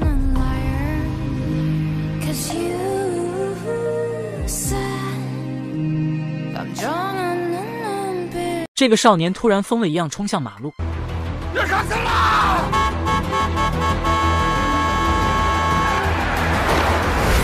刚刚。好友龙大告诉东柱，他妈妈昨天报案说家里进了贼，屋子里有被翻找的痕迹，却什么都没丢。 他妈妈追出去记下了车牌号，经调查是个套牌车。龙大分析，这应该不是个小毛贼，会不会和当初进东柱公寓的是同一个人？听他说完，东柱有些后怕，他知道那是有人在找那盘罪恶的录像带，他立刻赶到妈妈那里看望她。闲聊时，妈妈告诉他，曾经教会孤儿院的牧师也曾找过什么录像带。东柱觉得有些蹊跷，教会孤儿院在小说里也出现过。他追问爸爸是怎么出的车祸，妈妈难过的说是肇事逃逸，出事的那个街道他爸爸之前从未去过。东柱翻看着爸爸的遗物，回忆着儿时的点滴，他怀疑爸爸很有可能是被人灭口了。于是东柱把遗物带回了家，或许能找到有用的线索。江山去找医院遇到的女人，看着一张旧照片，竟想起自己是来自一九九五年，他难以接受这个事实。江山记起东柱曾说过，出现问题的不是记忆，而是时间。看来他早就知道自己是从二十七年前穿越来的。江山顿时怒火中烧，自己一直苦苦找寻记忆，想知道自己究竟是谁，而东柱却一直把他蒙在鼓里。好巧不巧，正要回家的东柱碰巧遇见站在路边发呆的江山这不是送上门找打吗？江山不由分说上去就是一顿暴揍东柱被这突如其来的暴扣打迷糊了。反手把江山压制住问他发什么疯江山反问道明明已经知道自己是从过去穿越来的为什么不告诉他？突然他目光坚定的看着马路上的车辆嘴里念叨着要用相同方法回去。要一个救要杀青了！一阵白光闪过，开车的司机吓了一跳，他连忙下车检查，却发现空无一人。原来危急时刻，东柱和江山竟然一起顺意回了家。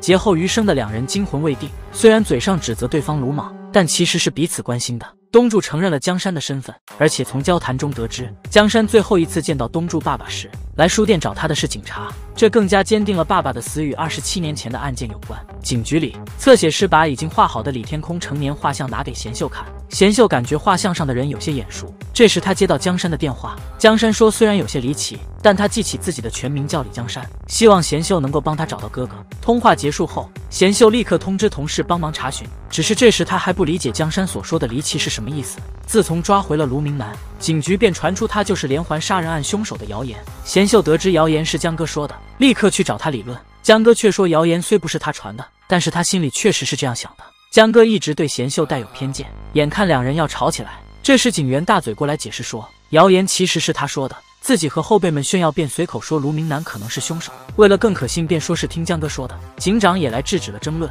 这才平息了风波。接下来，警方开始收集昨天绑架案的供词。万叔把那个和被害人嘴里的木片一样的十字架摆在卢明南眼前，但看卢明南的表情，显然不知道这是什么。万叔断定卢明南不是杀害全斗贤和周大岛的凶手。因为卢明南的排斥，万叔只好和贤秀负责审讯边中日的女儿。女孩说，早在两年前，卢明南就在监视他家。他的父亲边中日是一个家暴狂，每次喝醉都会疯狂殴打自己和妈妈。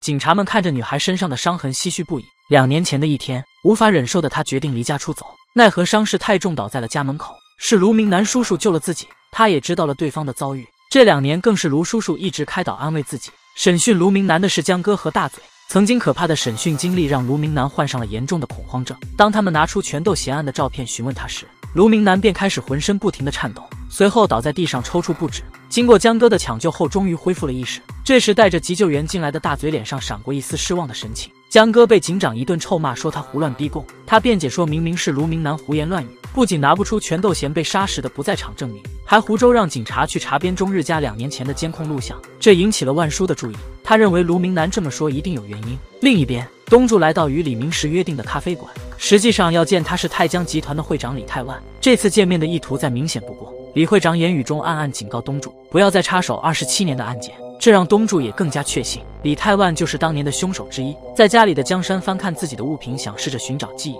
他刚触碰到自己的旧鞋子，脑海里便又出现了记忆片段。他终于想起来哥哥李天空的模样，也想起和哥哥一起无忧无虑的时光。又想到当时东柱爸爸告诉自己哥哥出事了，他立即跑了出去。江山来找蔡雨婷，因为他是唯一一个在这个世界里真正认识和了解李江山的人。他焦急地问蔡雨婷知不知道哥哥李天空的下落。这么多年过去了，如果哥哥还活着，一定也在寻找自己。听到他的话，蔡雨婷开始相信眼前的人真的是江山。然而江山只一句话便让女人彻底打消了疑虑。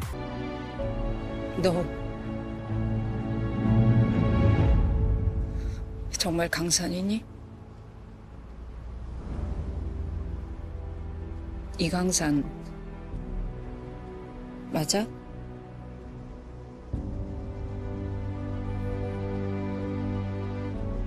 맞아.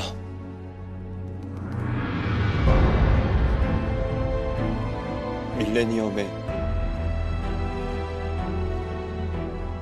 같이 사진 찍기로 한 약속.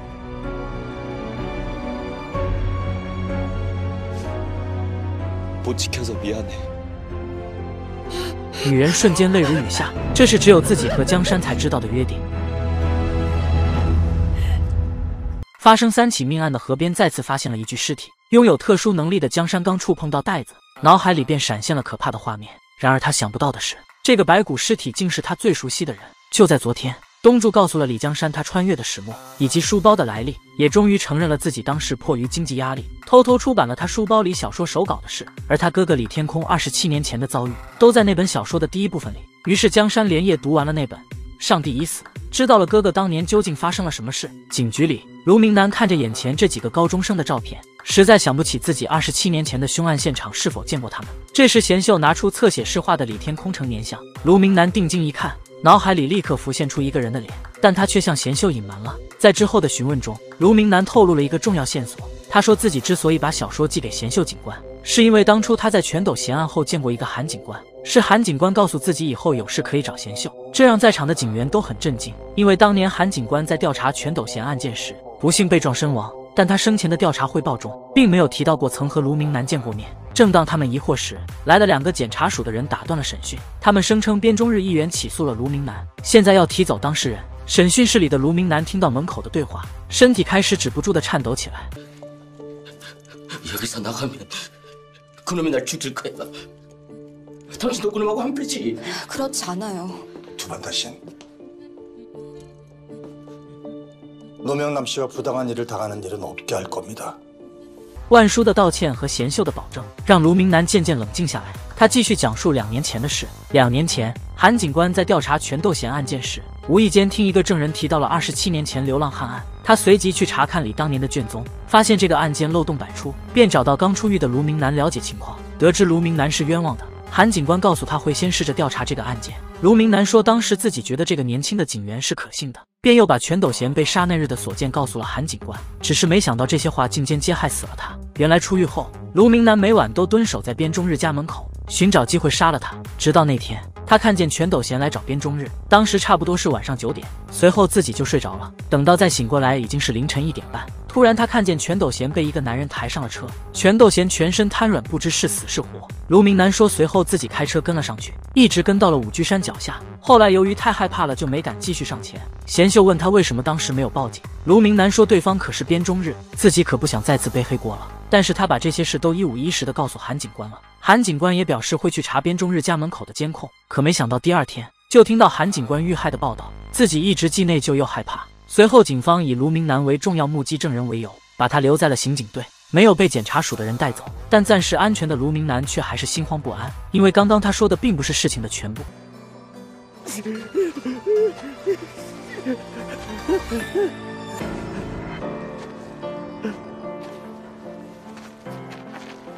명심하세요 형사들이찾아오면제가시킨대로말씀하셔야돼요贤秀和万叔去有关部门询问，两年前韩警官是否来调取过边中日议员家门口的监控。男职员表示确实见过韩警官，但那是边议员私人的监控，他们没有权限查看。正当两人失望而归时，一个女职员追了出来，她说刚刚男职员撒谎了， 两年前那里是有治安摄像头的，有其他警察先于韩警官来拷走了视频原件，并且还是经过厅长同意的。当时他觉得事出蹊跷，便偷偷把视频做了拷贝，并把 U 盘交给了韩警官。另一边，东柱来到和李天空约好的书店，在这里他终于见到了成年后的李天空。东柱给李天空讲述了他弟弟李江山是如何从一九九五年穿越到现在的，并且现在就和自己住在一起。但显然李天空对他天方夜谭式的话半信半疑。东柱连忙说等他见到弟弟本人就会相信了。随后他又为自己剽窃小说的事道了歉。见东柱一脸愧疚。李天空表示自己从没想过揭发他剽窃小说的事，曾经的警告也只是想提醒东柱会因为这本小说陷入险境。接着他又问起录像带的下落，谁知提到录像带，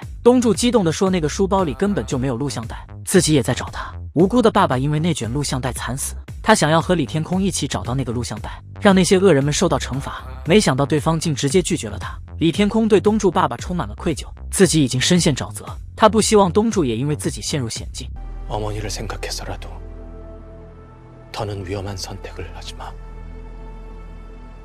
그리고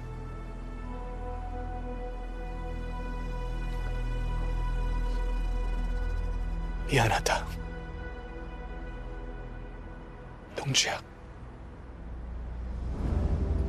这句话让东柱泪如雨下，他拉住李天空说：“江山真的在这里，而且也在找哥哥。”没想到对方意味深长的反问他：“你真的确定我就是李天空吗？”看着男人离去的背影，东柱感到疑惑和迷茫。江山来到案发的河边，看看能不能感知到哥哥的下落，却在这里发现了一个破旧的塑料桶，仿佛被召唤一般。江山缓缓走上前，打开了盖子，里面竟然是一具被塑料袋包裹着的白骨尸体。江山壮着胆子触碰尸体。脑海里浮现出一个人用刀行凶的画面，他吓得瘫坐在地上。这时，江山嘴里有冒起了白烟，说明自己刚刚感知到的就是这个尸体生前发生的事。可当他再次鼓起勇气想要触碰尸体时，一个老奶奶出现打断了他。接到报警后，刑警们立刻赶来了河边。他们在尸体旁发现一个学生证，上面写着的名字竟然是李天空。在场的人顿时都感到很诧异。贤秀询问江山怎么也在这里，江山谎称东柱的小说是以这里为背景，所以自己来看看。得知死者的身份还没确认，江山告诉贤秀自己刚刚感知到那人是被一个手上有十字架纹身的人用刀刺死的。不过显然贤秀还是不相信自己有超能力。东柱这边也东窗事发了，由于他的小说和导演周大岛生前写的剧本内容高度相似，对方家属便起诉东柱抄袭，一时间舆论四起，各方都在等着看东柱将会做出怎样的回应。东柱谎称电脑重装过系统。找不到初始写作的时间，无法证明谁的创作在前。李明石给他两条路，要么就听他的安排制造一些伪证，要么就败诉，然后面临被封杀以及天文数字的违约金。听后，东柱愤愤地离开了办公室。他会做出什么选择呢？一切越来越扑朔迷离。如果说李天空真的死了，那么和东柱见面的人又是谁呢？那人和东柱分开后，来到疗养院探望一个满头白发的老人。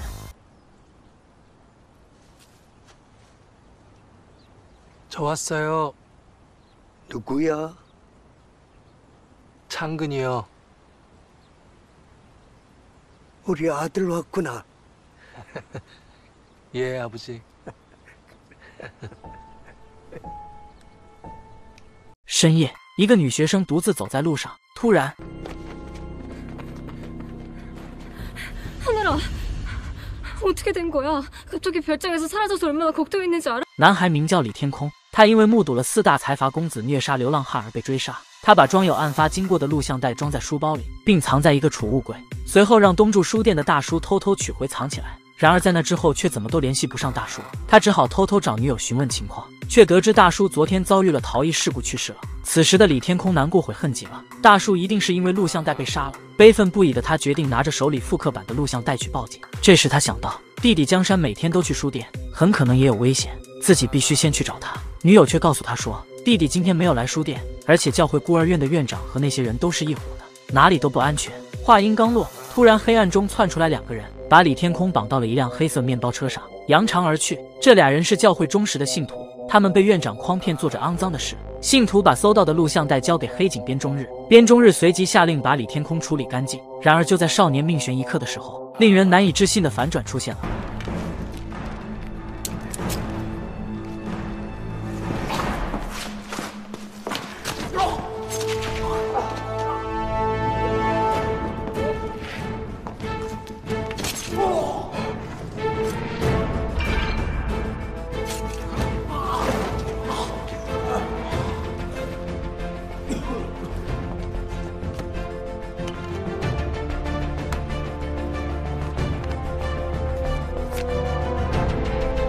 这波操作震惊了一旁的少年。接着，信徒走到李天空身边，替他解开束缚后，对他说：“以后你就是一个死人了。”震惊之余，李天空壮着胆子追问弟弟的下落。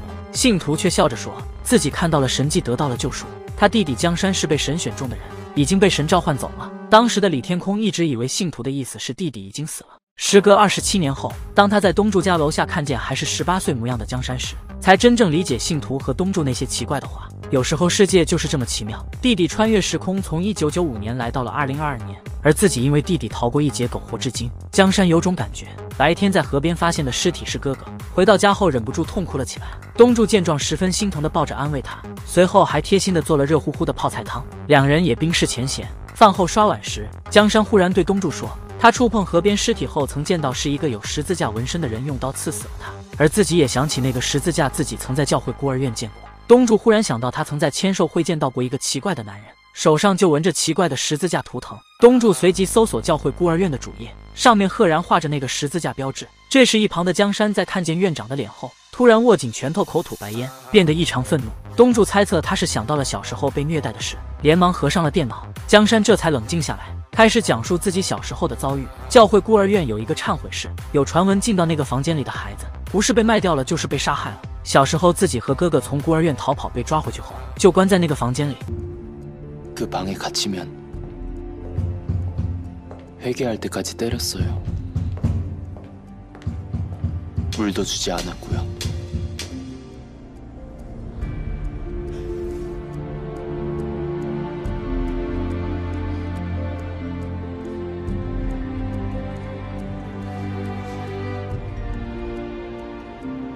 미안해.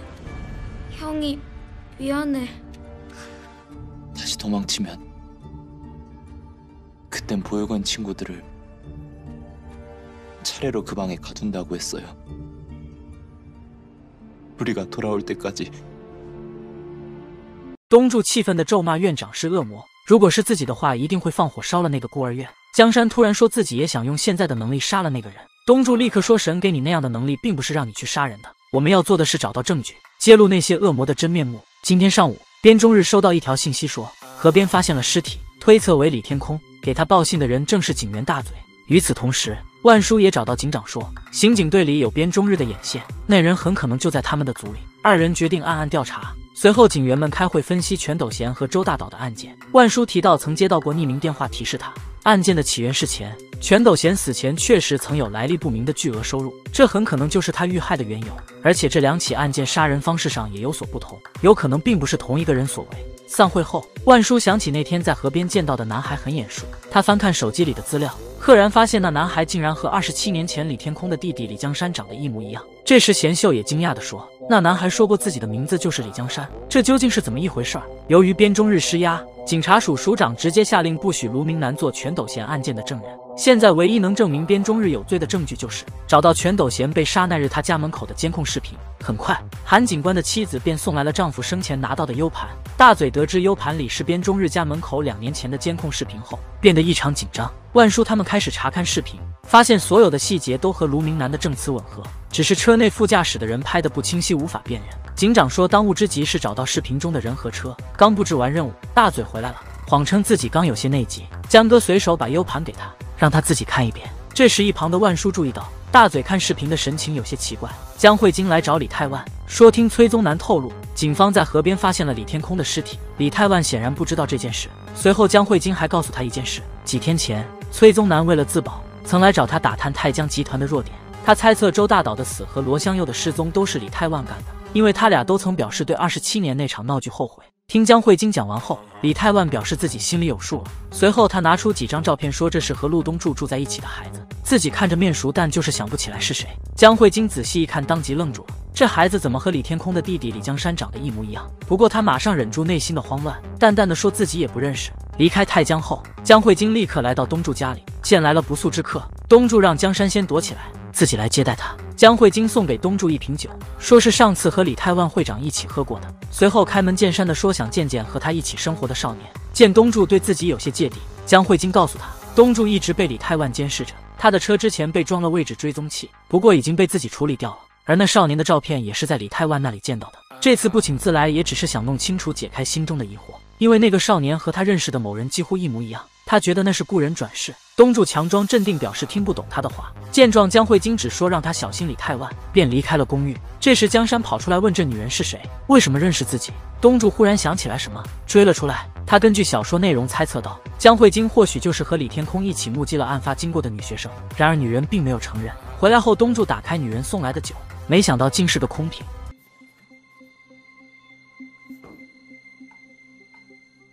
成了。뭐 하자는 거야, 이거? 뭐예요, 그거?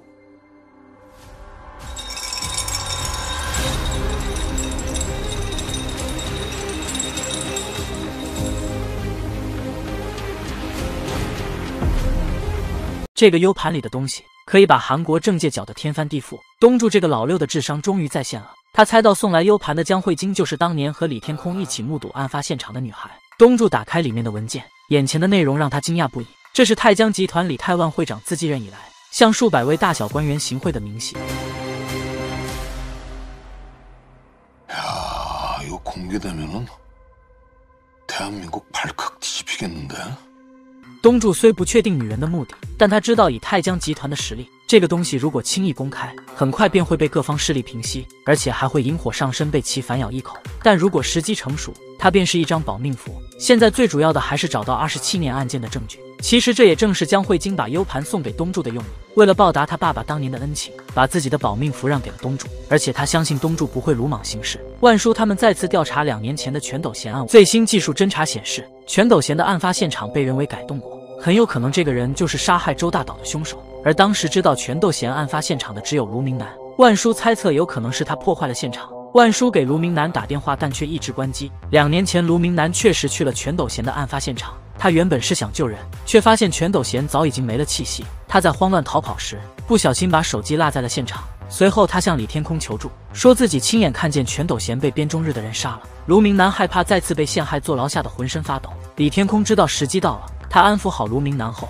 来到了案发现场。除去卢明南的痕迹，把原本布置成自杀的现场改为谋杀，并故意留下有关二十七年前案件的线索，这是他复仇的开端。警察贤秀来到东柱家，刚进门就要借用卫生间，其实是要拿到江山的 DNA。万叔认为这个江山既然和李天空的弟弟一模一样，很有可能是亲属，那他们比对 DNA 就能证明不久前发现的白骨尸体到底是不是李天空。从卫生间出来后，贤秀拿出二十七年前李江山的照片，问他为什么和照片上的人一模一样。东柱本想搪塞过去。没想到江山却都招了。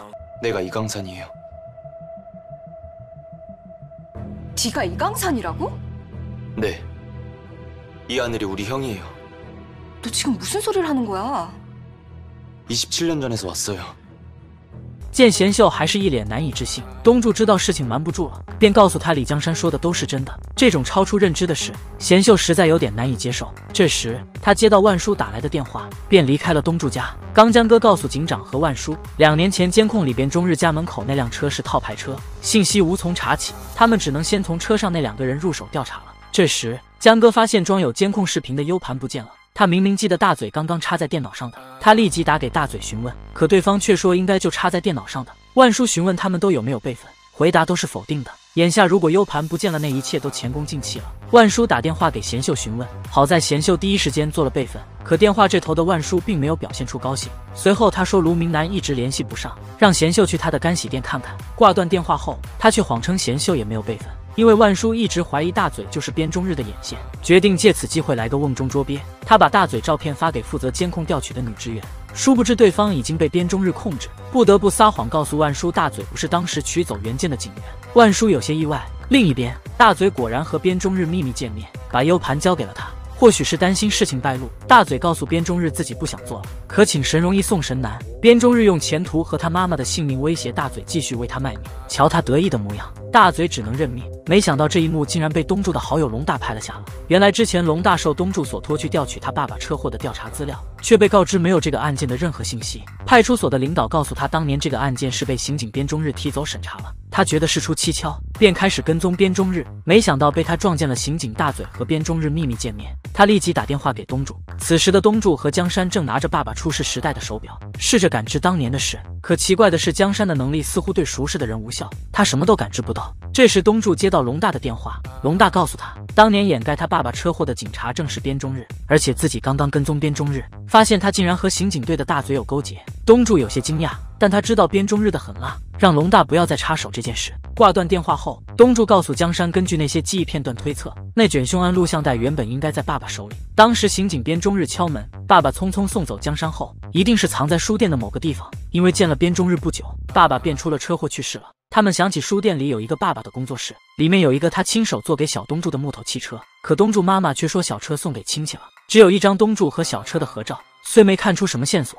江山打趣道：“夸小东柱很可爱。”李泰万叫来检察长崔宗南。警告他本分的做好一只猎犬，猎犬不去狩猎，反而回头咬主人一口，那下场只有死路一条。随后他告诉崔宗南，两年前全斗贤因为威胁边中日，所以被他杀了，杀手正是自己的手下，而且那个杀手还刚刚杀了卢明南。万叔和贤秀来找卢明南，却发现干洗店亮着灯，里面却空无一人，因为就在几分钟前，卢明南的干洗店里来了一位不速之客。万叔和贤秀开始在附近寻找，很快贤秀在胡同里发现了卢明南的车。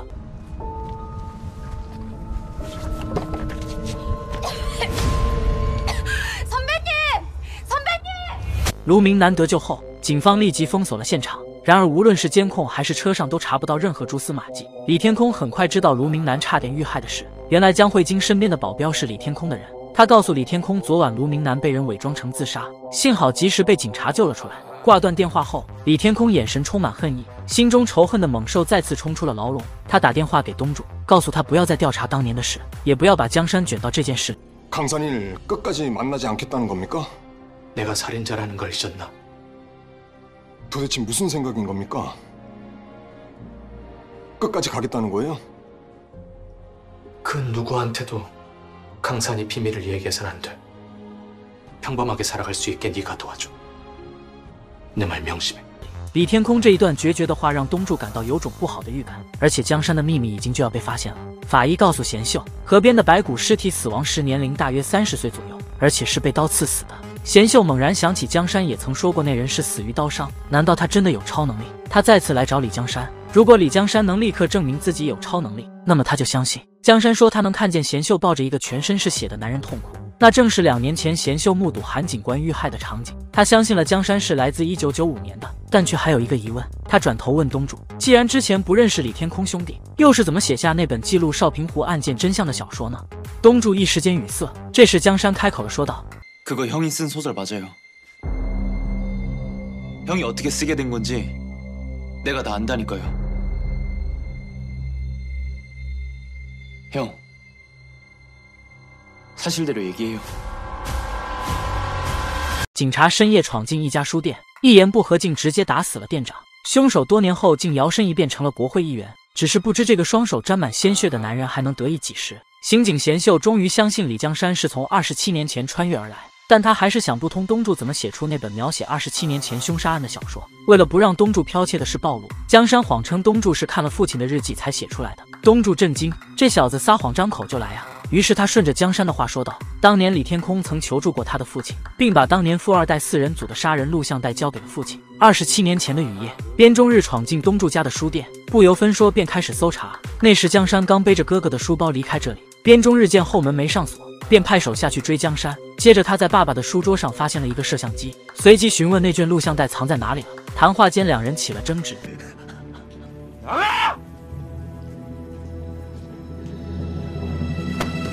어,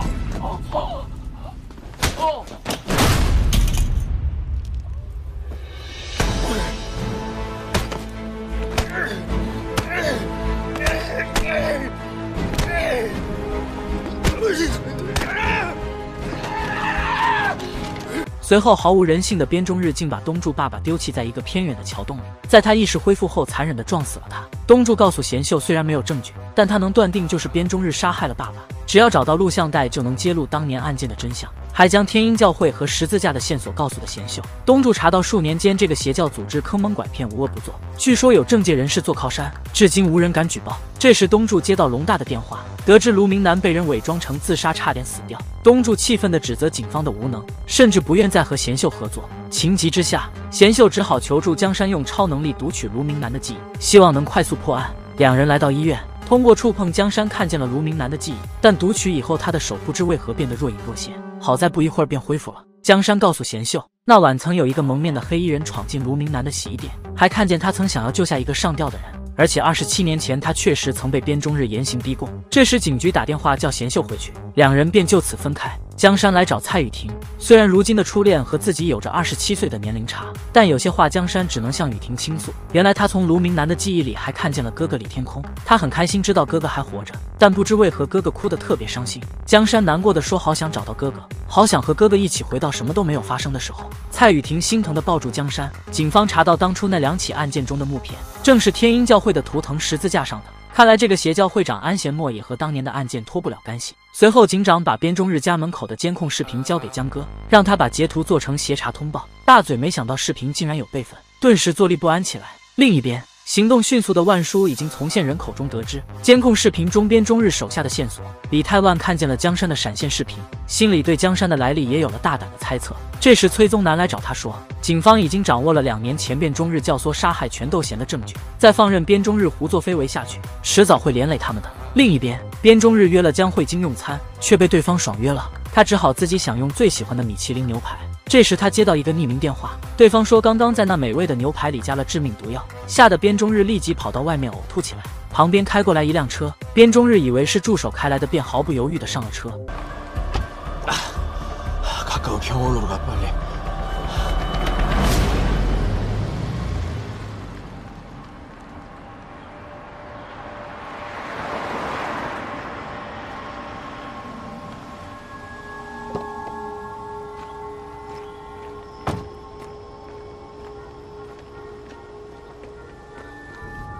어떻게 그런 황당한 말을 써가요? 边中日这才发现自己上错了车，但为时已晚， 绑架他的人正是李天空。接着，一个黑衣人上车，将他迷晕后，塞进了另一个车的后备箱。随后，李天空开着车扬长而去。边中日的妻子得知丈夫失踪，第一时间竟询问天鹰教会的会长安贤墨怎么办。安会长却让他先不要轻举妄动，而且边中日的女儿也在安会长的手中。东柱被李明石叫来出版社，李明石告诉他。周大岛的家属不知为何突然撤销了对东柱抄袭的起诉，随即他为这段时间对东柱的怀疑道歉，送了他一块昂贵的手表作为赔礼。东柱虽觉得这不像李明石的作风，但也没多想便收下了。东柱妈妈终于想起来，他把东柱爸爸手工做的小汽车送给了龙大，然而龙大却告诉他。把家里翻个底朝天也没找到那个小汽车。为了感谢好友，东柱把李明石送给自己的那块手表转送给了龙大。龙大不明白他为什么要找二十多年前的玩具车，东柱便把二十七年凶案录像带和爸爸被边中日杀害的事都告诉了龙大。但他怎么也没想到，那块手表被李明石安装了窃听器，他们的对话被对方听得一清二楚。聪明的李明石早就怀疑哥哥李泰万很可能和二十七年的凶案有关，他觉得东柱一定知道些什么，便决定从他身上入手调查。果然知道了惊天秘密。贤秀私下里告诉万叔，他已经确定李江山真的是从二十七年穿越回来的。这炸裂的消息让万叔一时间难以置信。东柱来找贤秀，把龙大拍到大嘴密会边中日的视频拿给他看。贤秀瞬间感到背脊发凉，立刻告诉了警长和万叔，原来大嘴竟是边中日安插的眼线。几人气愤不已。东柱回家前接到蔡雨婷的电话，女人说下午江山来找她说的话让他很担心。东柱知道江山一定是通过卢明南的记忆知道了哥哥还活着。碰巧这时江山在家门口喊他。经过这么久的相处，东柱早已把江山当成亲人看待。他怕男孩知道哥哥的现状会受打击，他告诉江山，无论以后知道了什么都不要失望。既然不能阻止已经发生的事，那就一起过好以后的人生。江山听后非常感动。另一边，被绑架的边中日醒来后发现，一个男人正站在自己的眼前。此时的他还不知道这人就是李天空，对面放着一台摄像机。李天空告诉边中日，到目前为止都没人为他的失踪报警，看来想让他消失的大有人在，所以他必须面对镜头好好回答问题，不说实话就只有死路一条。边中日被吓得大气都不敢喘。随后李天空打开摄像机，真心话游戏开始了。恶有恶报，这个挨千刀的坏蛋终于被人嘎了。就在今天下午，李天空用计把边中日绑架了。见一直边中日嘴硬不肯说出自己的罪行，他提起大锤做事要砸下去。吓得边中日立即求饶。随后，李天空打开摄像机，并答应边中日，只要他如实供述自己的罪行，就能活命，自己也不会把视频公布给媒体。贪生怕死的边中日开始了他的认罪自白。이태만이최종남신경철나상이제됐어 他说，二十七年前自己替这四人掩盖了杀人罪行，得到了如今的财富和地位，并承认东柱爸爸车祸身亡、全斗贤案和卢明南自杀事件都是出自他手。他还透露罗相佑失踪应该是李泰万所为。交代完一切，边中日让李天空赶紧放了自己。只见对方关掉了摄像机，走过来，俯身对他说：“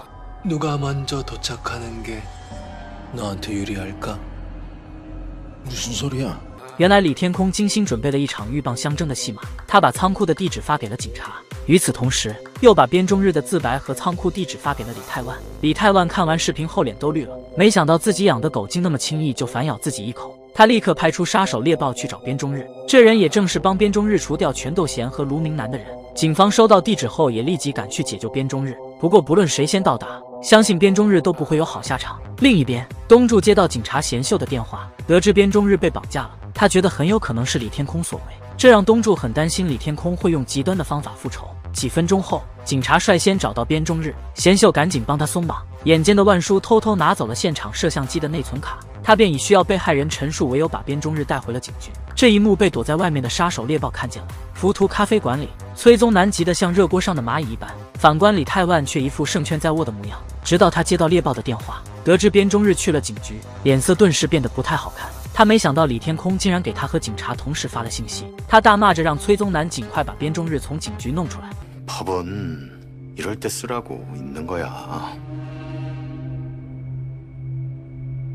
贤秀第一时间通知东柱称边中日找到了，而且警方得到了他的认罪自白视频，其中他亲口承认东柱爸爸是他杀害的。虽然已经猜到这个结果，东柱还是红了眼眶。 但贤秀说，并不能以此定那个人渣的罪，他很有可能会主张是在威胁下做出的虚假自白。不过警方一定会尽力让他认罪的。挂断电话后，东柱和江山都松了一口气，还好李天空没有做傻事杀了边中日。警局里，边中日始终保持沉默，他的律师一直在怒斥警方的不合理扣押。这时，万叔拿出两年前边中日家门口的监控，正是全斗贤临死前一晚被抬出他家的画面。边中日看见视频，脸色微变，但立刻恢复了正常，只说那天全斗贤只是喝多了而已。不得不说，边中日在警察面前倒是心理素质好得很。无论警方拿出什么证据，他一概不认，坚称自己是在受到威胁的情况下说出绑匪安排他说的话。万叔实在受不了他虚伪的嘴脸。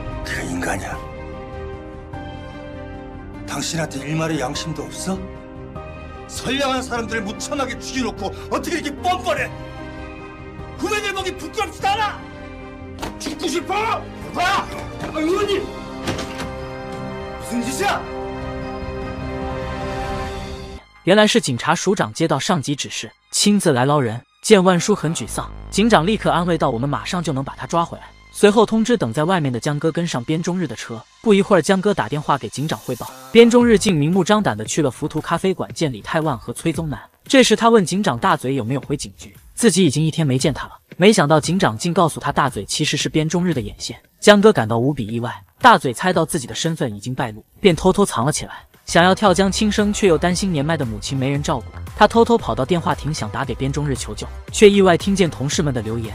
江哥说愿意陪他一起面对问题。警长告诉他，一次的错误不代表人生的结束。贤秀说，大家还等着他一起吃烤肉呢。万叔说，他还有机会重新开始。听到这些，大嘴悔恨不已，痛哭之后，他决定要做一件大事。见到边中日后，李泰万说他们已经看过他刚刚在仓库里的自白视频。边中日赶忙解释说那是威胁下的供述，警方不能用来作为证据。当被问起他为什么要杀那么多人时，边中日激动地说都是因为他们知道的太多了。见面结束后，边中日拖着疲惫的身体回到家。这时他接到大嘴的电话，大嘴说自己的身份已经暴露了，需要钱偷渡或者藏起来。然后又说警察已经盯上了替他杀人的猎豹，自己必须和猎豹见一面从长计议，让边中日通知他在公寓等着。电话挂断后，边中日立刻拨通猎豹的电话，吩咐他见到大嘴就直接让他永远闭嘴。突然，边中日家的灯熄灭了。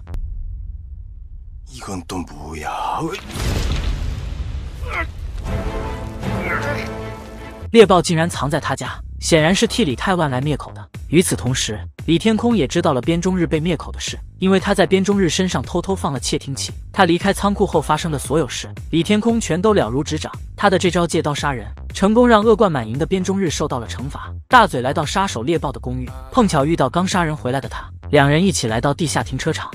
타시죠 어디 가는 건데? 안전한 곳으로 가야죠. 거기가 어디냐고. 일단 타세요.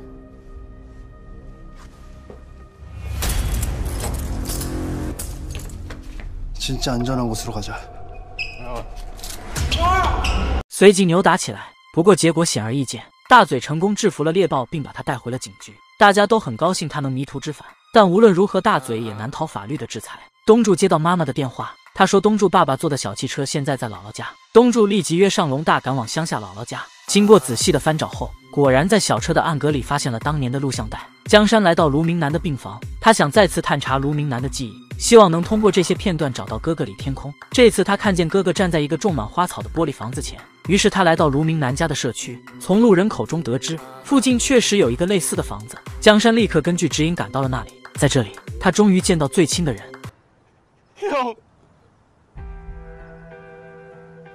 康山娜，娘，娘！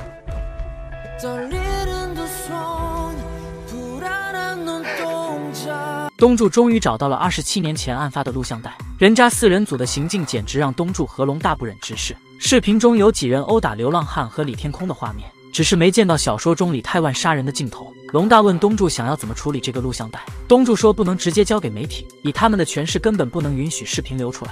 自己已经想好一个万全的方法，让真相视频公布于众。好友龙大没再追问，只告诉东柱如果有需要，他一定竭力相助。随后他又好奇地问东柱的小说怎么会和视频一模一样？见状，东柱决定不再隐瞒。 내가 쓴 소설이 아니야. 영상에서 봤던 이하늘이라는 학생이 쓴 소설이요. 농담하지 마. 농담이면 좋겠는데 사실이야. 내가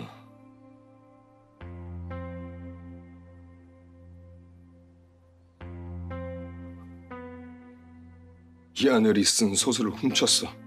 他惭愧地说自己一定会纠正这个错误。然而，刚刚李明石通过龙大手表中的窃听器听到了他们的全部对话。因为是泰江集团的私生子，李明石一直被父亲要求屈居哥哥李泰万之下。或许这次他终于能翻身了。贤秀接到东柱的电话，得知他已经找到了二十七年前案发的录像带。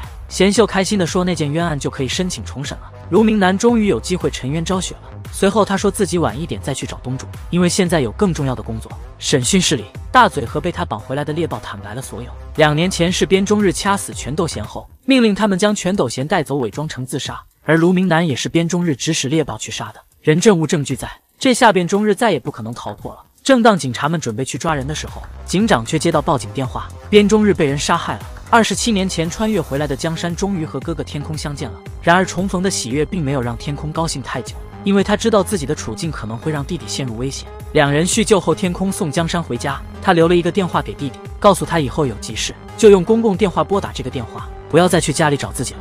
兄弟二人分开后。一辆黑色的轿车跟上了李天空，好在警惕性很高的李天空发现了他，三下五除二便甩掉那辆车。他意识到自己和江山已经全都暴露了行踪。江山刚回到家，碰巧听见贤秀通知东柱边中日被杀害的事。他告诉江山，那卷录像带已经找到，边中日死了。虽然无法知道父亲是怎么遇害的，但至少可以揭露二十七年的真相。只是一旦视频公布，那他哥哥李天空将会成为杀害周大岛的有力嫌疑人。听到这些，江山立刻跑了出去。他打电话告诉哥哥录像带已经找到的事，并叮嘱他一定要隐藏好自己，直到真相大白。万叔他们迅速赶到边中日家，法医认为边中日是被人从后面勒死的，但他的妻子却在发现尸体后私自挪动了他，导致现场被破坏。而她的理由竟然说因为丈夫是用生命偿还了所犯的罪孽，已经得到了上帝的原谅。经贤秀询问，原来妻子是天鹰教会的信徒，昨晚在教会通宵祈祷。看样子她被邪教洗脑的不轻。李泰万找人暗中调查，竟真的查到了江山穿越和有超能力的秘密。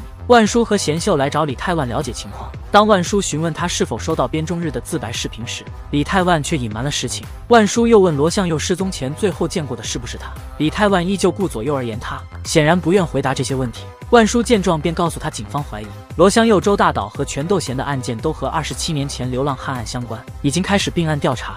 从泰江集团出来。贤秀说：“李太万这么会狡辩，真想看看当年视频公布后他会怎么解释。”这时万叔说：“刚刚自己提问时，李泰万的眼神动摇了，他肯定收到了边中日的自白视频，而李天空的目的应该就是离间二人，引诱李泰万杀了边中日。”正当两人准备回去时，贤秀突然想到自己在卢明南家附近遇到过一个男人，很像侧写师画像上的李天空。然而等他们赶到李天空家时，并没有看见他的身影。浮屠咖啡馆里，李泰万兴致勃勃地告诉江慧晶，他发现和陆东柱住在一起的男孩正是李天空的弟弟江山，而且今天两人还见面了。这让慧晶顿时一惊。得知李泰万知道了天空的行踪，慧晶紧张起来。不过很快，他日思夜想的人就出现在眼前了。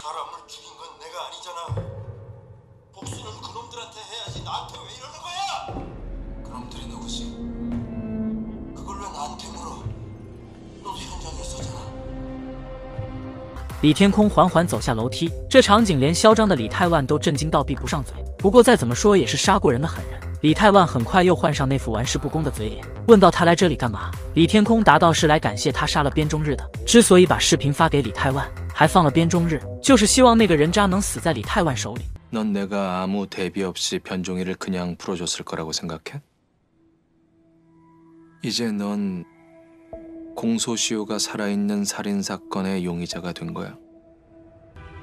넌 변한 게 없어. 인간성도 나쁘지만 머리는 더 나빠. 这些话气得李太万失去了理智。就在李天空准备离开时，崔宗南走了进来。 这个怂包在看见李天空后，吓得腿都软了，直接瘫坐在楼梯上。江山看到了录像带中哥哥被打的画面，强烈的愤怒让他的身体产生了奇怪的现象。 东柱和前来查看录像带的贤秀刚进门，正好看见江山的异样，还没等开口问江山，便晕倒了。幸亏东柱叫来了李医生，才无大碍。与此同时，黑色书包里的石头忽然闪起强烈的蓝光。李天空见状，神情有一丝紧张。贤秀看完二十七年前的案发视频，认为警方完全可以根据这个证据逮捕李泰万和崔宗南，但东柱坚持要在公开后再交给警方。他要用最直接的方式让敌人无力反击。第二天，东柱穿戴整齐，坐在了电视台的直播间里，他竟要通过新闻直播的方式将所有真相公之于众。우선 제가가지고온영상을东柱这招釜底抽薪实在太牛了，直接在全国新闻直播上公开了凶案现场的录像。二十七年前流浪汉被杀案的真凶身份终于水落石出。태강그룹이태만회장서울지검최종남지검장현재실종상태인한국대학나상우교수그리고얼마전사망한영화감독신경철네사람입니다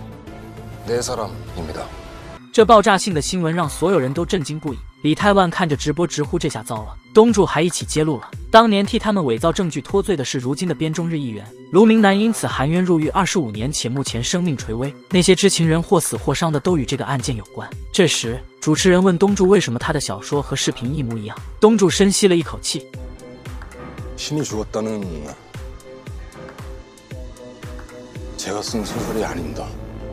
此话一出，顿时现场一片哗然。东柱坦白，小说的原稿就是视频中那个目击案件的男学生写的，自己只是偶然发现，稍作修改后以自己的名义出版了。他说自己会承担所有的谴责和惩罚，只是希望二十七年前案件真相不要因为自己的错误被扭曲。终于卸下身上的包袱，东柱感觉如释重负。这时，警察贤秀打来电话，告诉他自己在电视台后门等他。原来大厅和地下停车场都是闻讯而来的记者。到家后，贤秀感谢东柱，因为他的施压。检方不得不准发了对李泰万和崔宗南的逮捕令。东柱听后终于露出了笑容，他把录像带原件和备份都交给了贤秀，希望一切可以早日水落石出。第二天一早，贤秀高兴地说逮捕令发下来了，可没想到李泰万为了不在公众面前被戴手铐，竟主动要求来警局接受调查。不过他这点小聪明可难不倒刑警们，万叔他们亲自去门口接待贵宾，警局门口站满了记者。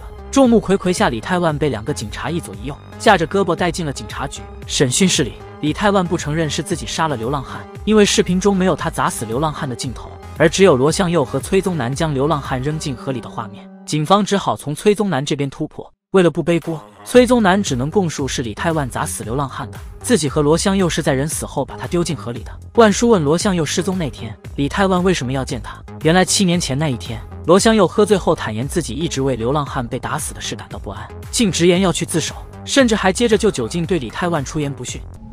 널 만난 게 인생 최대의 실수다. 유식은 마초 쓰레기 새끼. 인간 같지 않은 놈.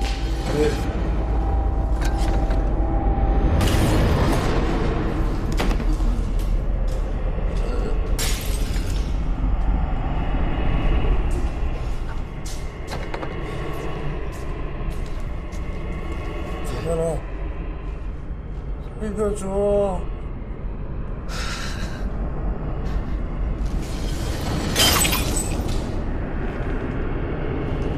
面对贤秀和万叔的质问，杀人狂李泰万淡定地说自己不记得了，还嚣张地警告他们适可而止。说完便起身离开了。由于案件已过诉讼时效，警方暂时无可奈何。与此同时，江慧晶来到了警局。他告诉贤秀和万叔，二十七年前他亲眼看见是李泰万用石头砸死了流浪汉，而帮凶罗向佑每次喝醉酒都会后悔当初的事，这让李泰万非常不满。还有李泰万也的确收到过边中日被绑架时的自白视频，根据他的证词，李泰万杀害罗香佑和边中日的动机就有了。最后，他把李泰万行贿受贿明细的 U 盘交给了警方，并提醒他们，这里的名单涉及到政界。法律界以及媒体，警方要面对的阻碍会异常艰辛。江慧晶之所以这么做，是因为东柱去电视台前曾找过他，他将装有李泰万行贿受贿明细的 U 盘还给了江慧晶，他希望女人能够用这个保护自己。江慧晶难过的说：“如果当初不是自己从周大岛家偷出录像带，李天空不会过上这样的生活，东柱爸爸也不会被杀害了。”东柱听后安慰他不用自责。二十七年前，李天空的小说里没有提到女友江慧晶的只言片语，说明他一直想要保护好她。希望慧晶不要辜负李天空的一片心意。李泰万召开记者会，为自己的行为向社会和民众道歉，并宣布辞任泰江集团会长一职。而崔宗南也被解除职务，他准备给自己放个长假。哥哥出事后，李明石名正言顺的被推选为代理会长，接手集团大小事务。这天，东柱来找他，原本想为小说的事跟他道歉，没想到竟换来李明石的一顿羞辱。이바닥에서매장됐어회생불능 끝났다고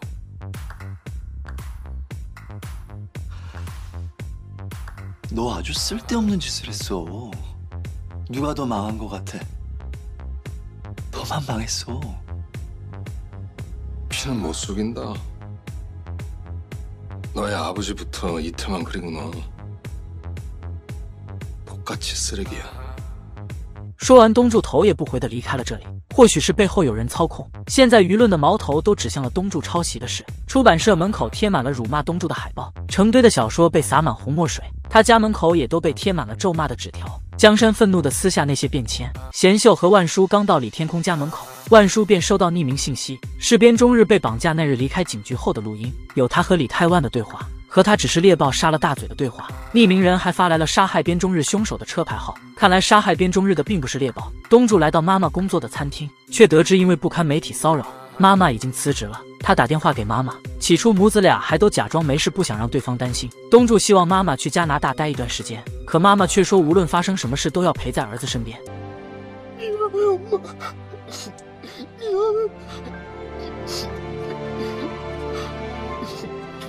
啊啊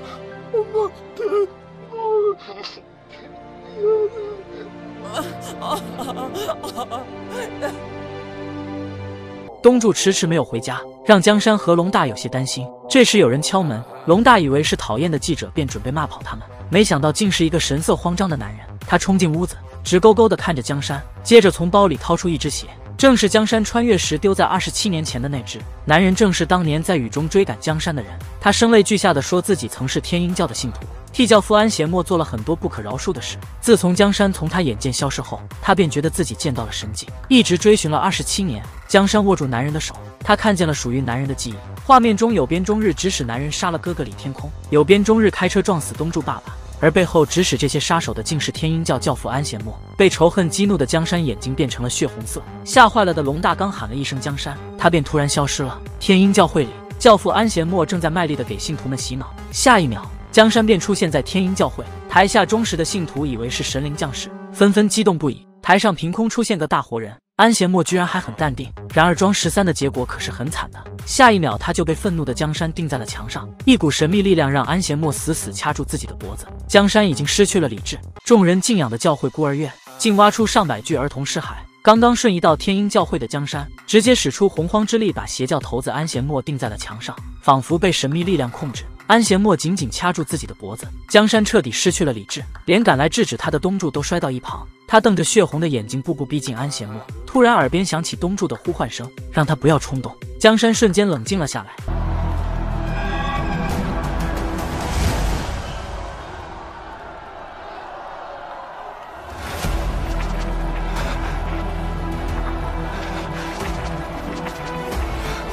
刚赶来的万叔和贤秀和亲眼目睹了这一幕。二十七年前，小东柱捡到一块会发光的石头，他告诉天空和江山，这是昨晚掉下来的星星。本以为是童言无忌，没想到当江山接过石头后，石头突然闪出一阵蓝光，刺了他的眼睛。也许就是那时，江山得到了异乎常人的能力。东柱在医院醒来后，便要去找江山。他和贤秀回家查看监控，发现来找江山的正是曾出现在东柱签售会的奇怪男人。龙大说，男人跪着祈求江山原谅时，提起了天鹰教会。这时他想去，男人拿过江山的血，上面应该有他的指纹。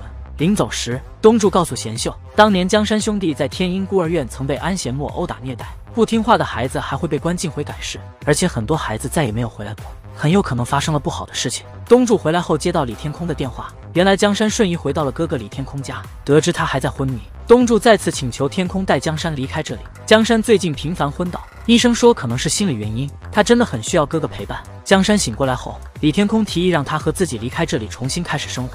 江山听后开心的满嘴答应。东柱因剽窃小说背负高额违约金，妈妈把他之前给的五千万零用钱原封不动拿给儿子，希望他不要气馁。妈妈回去后，东柱带着花来到爸爸出事的地方。竟撞见那个出现在自己签售会的男信徒。他告诉东柱，边中日撞死东柱爸爸时，他也在车上。男信徒说他每日每夜都在祈求上帝的原谅。东柱听后愤怒至极。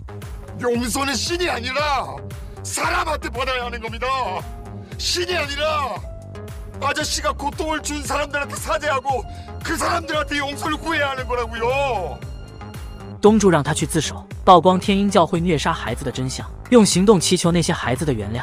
或许是终于找到了自赎的方法，男信徒果真来警局自首了。很快，天鹰教会孤儿院的搜查令批了下来。警方根据那个男信徒的证言，在教会后面的山上挖出了上百具儿童的尸骸，这简直是惨绝人寰。警方很快逮捕了安贤莫。 随后，媒体爆出邪教教主安贤莫不仅虐待杀害孤儿，还擅自使用捐款和儿童援助金，持续数十年。晚上，龙大慌张赶来告诉东柱，自己本想把李明石送东柱的手表卖掉替他还债，却被告知里面装有窃听器。原来李明石早就知道东柱要揭露他哥哥李太万杀人的事，却来了一招螳螂捕蝉，黄雀在后。于是东柱打开阻隔信号的锡纸，隔空大骂李明石无耻，还威胁到如果他的杀人狂哥哥知道弟弟被刺，自己会怎么做呢？另一边的李明是没办法回怼，此刻正如热锅蚂蚁一般。得知东柱在找房子准备搬家，江山告诉东柱，自己这几天就要和哥哥李天空一起离开这里。虽然这是东柱一直希望的事，但他心里还是很不舍。为了不让江山担心，他只好表现得很开心。警方根据天空发的匿名短信的信息，很快查到了杀害边中日那个杀手的信息。就在那个男人要跑路的时候，贤秀和江哥及时赶到，两人合力制服了他。审讯室里，贤秀拿出杀手的手套，上面不仅有他的指纹。还有大量编中日的 DNA，而且还查到了他和李泰万的通话记录。杀手这下不再狡辩，而李泰万得知杀手被抓后，立刻让秘书替自己背黑锅。他承诺自己一定会好好补偿他的。随后，秘书前来警局，只是他不是来自首的。前一天，李明石曾找过秘书，告诉他哥哥已经不可能东山再起了，自己的退路要选好。于是他把李泰万犯下的所有罪和他伤害过的所有人全都招了。李泰万正准备跑出国时，被警方堵在了机场。他们找到了李泰万杀死罗香佑的凶器，这下他再也没有机会替自己开脱了。另一边，他的难兄难弟崔宗南也被警方堵在了机场。原本二十七年的案件公诉期已过，但经调查，崔宗南曾出过国生活了两年。按韩国法律，这两年不计入公诉期，这可真是人算不如天算。当年的一切终于尘埃落定。然而，原本答应江山要一起走的哥哥，却独自去做了该做的事。两年后，东柱新的小说《奇迹的兄弟》出版了，是金子总会发光。李天空两年前是去自首了，他想要纠正自己的错误，然后堂堂正正的和弟弟生活在一起。他因杀害周大岛入狱，表现优秀，还剩两年就可以出狱了。江山已经融入了这个时代，他考上了很好的大学。东柱搬去了李天空的房子，和江山一起住。时间的齿轮无论怎样转动，他们都不会再分开了。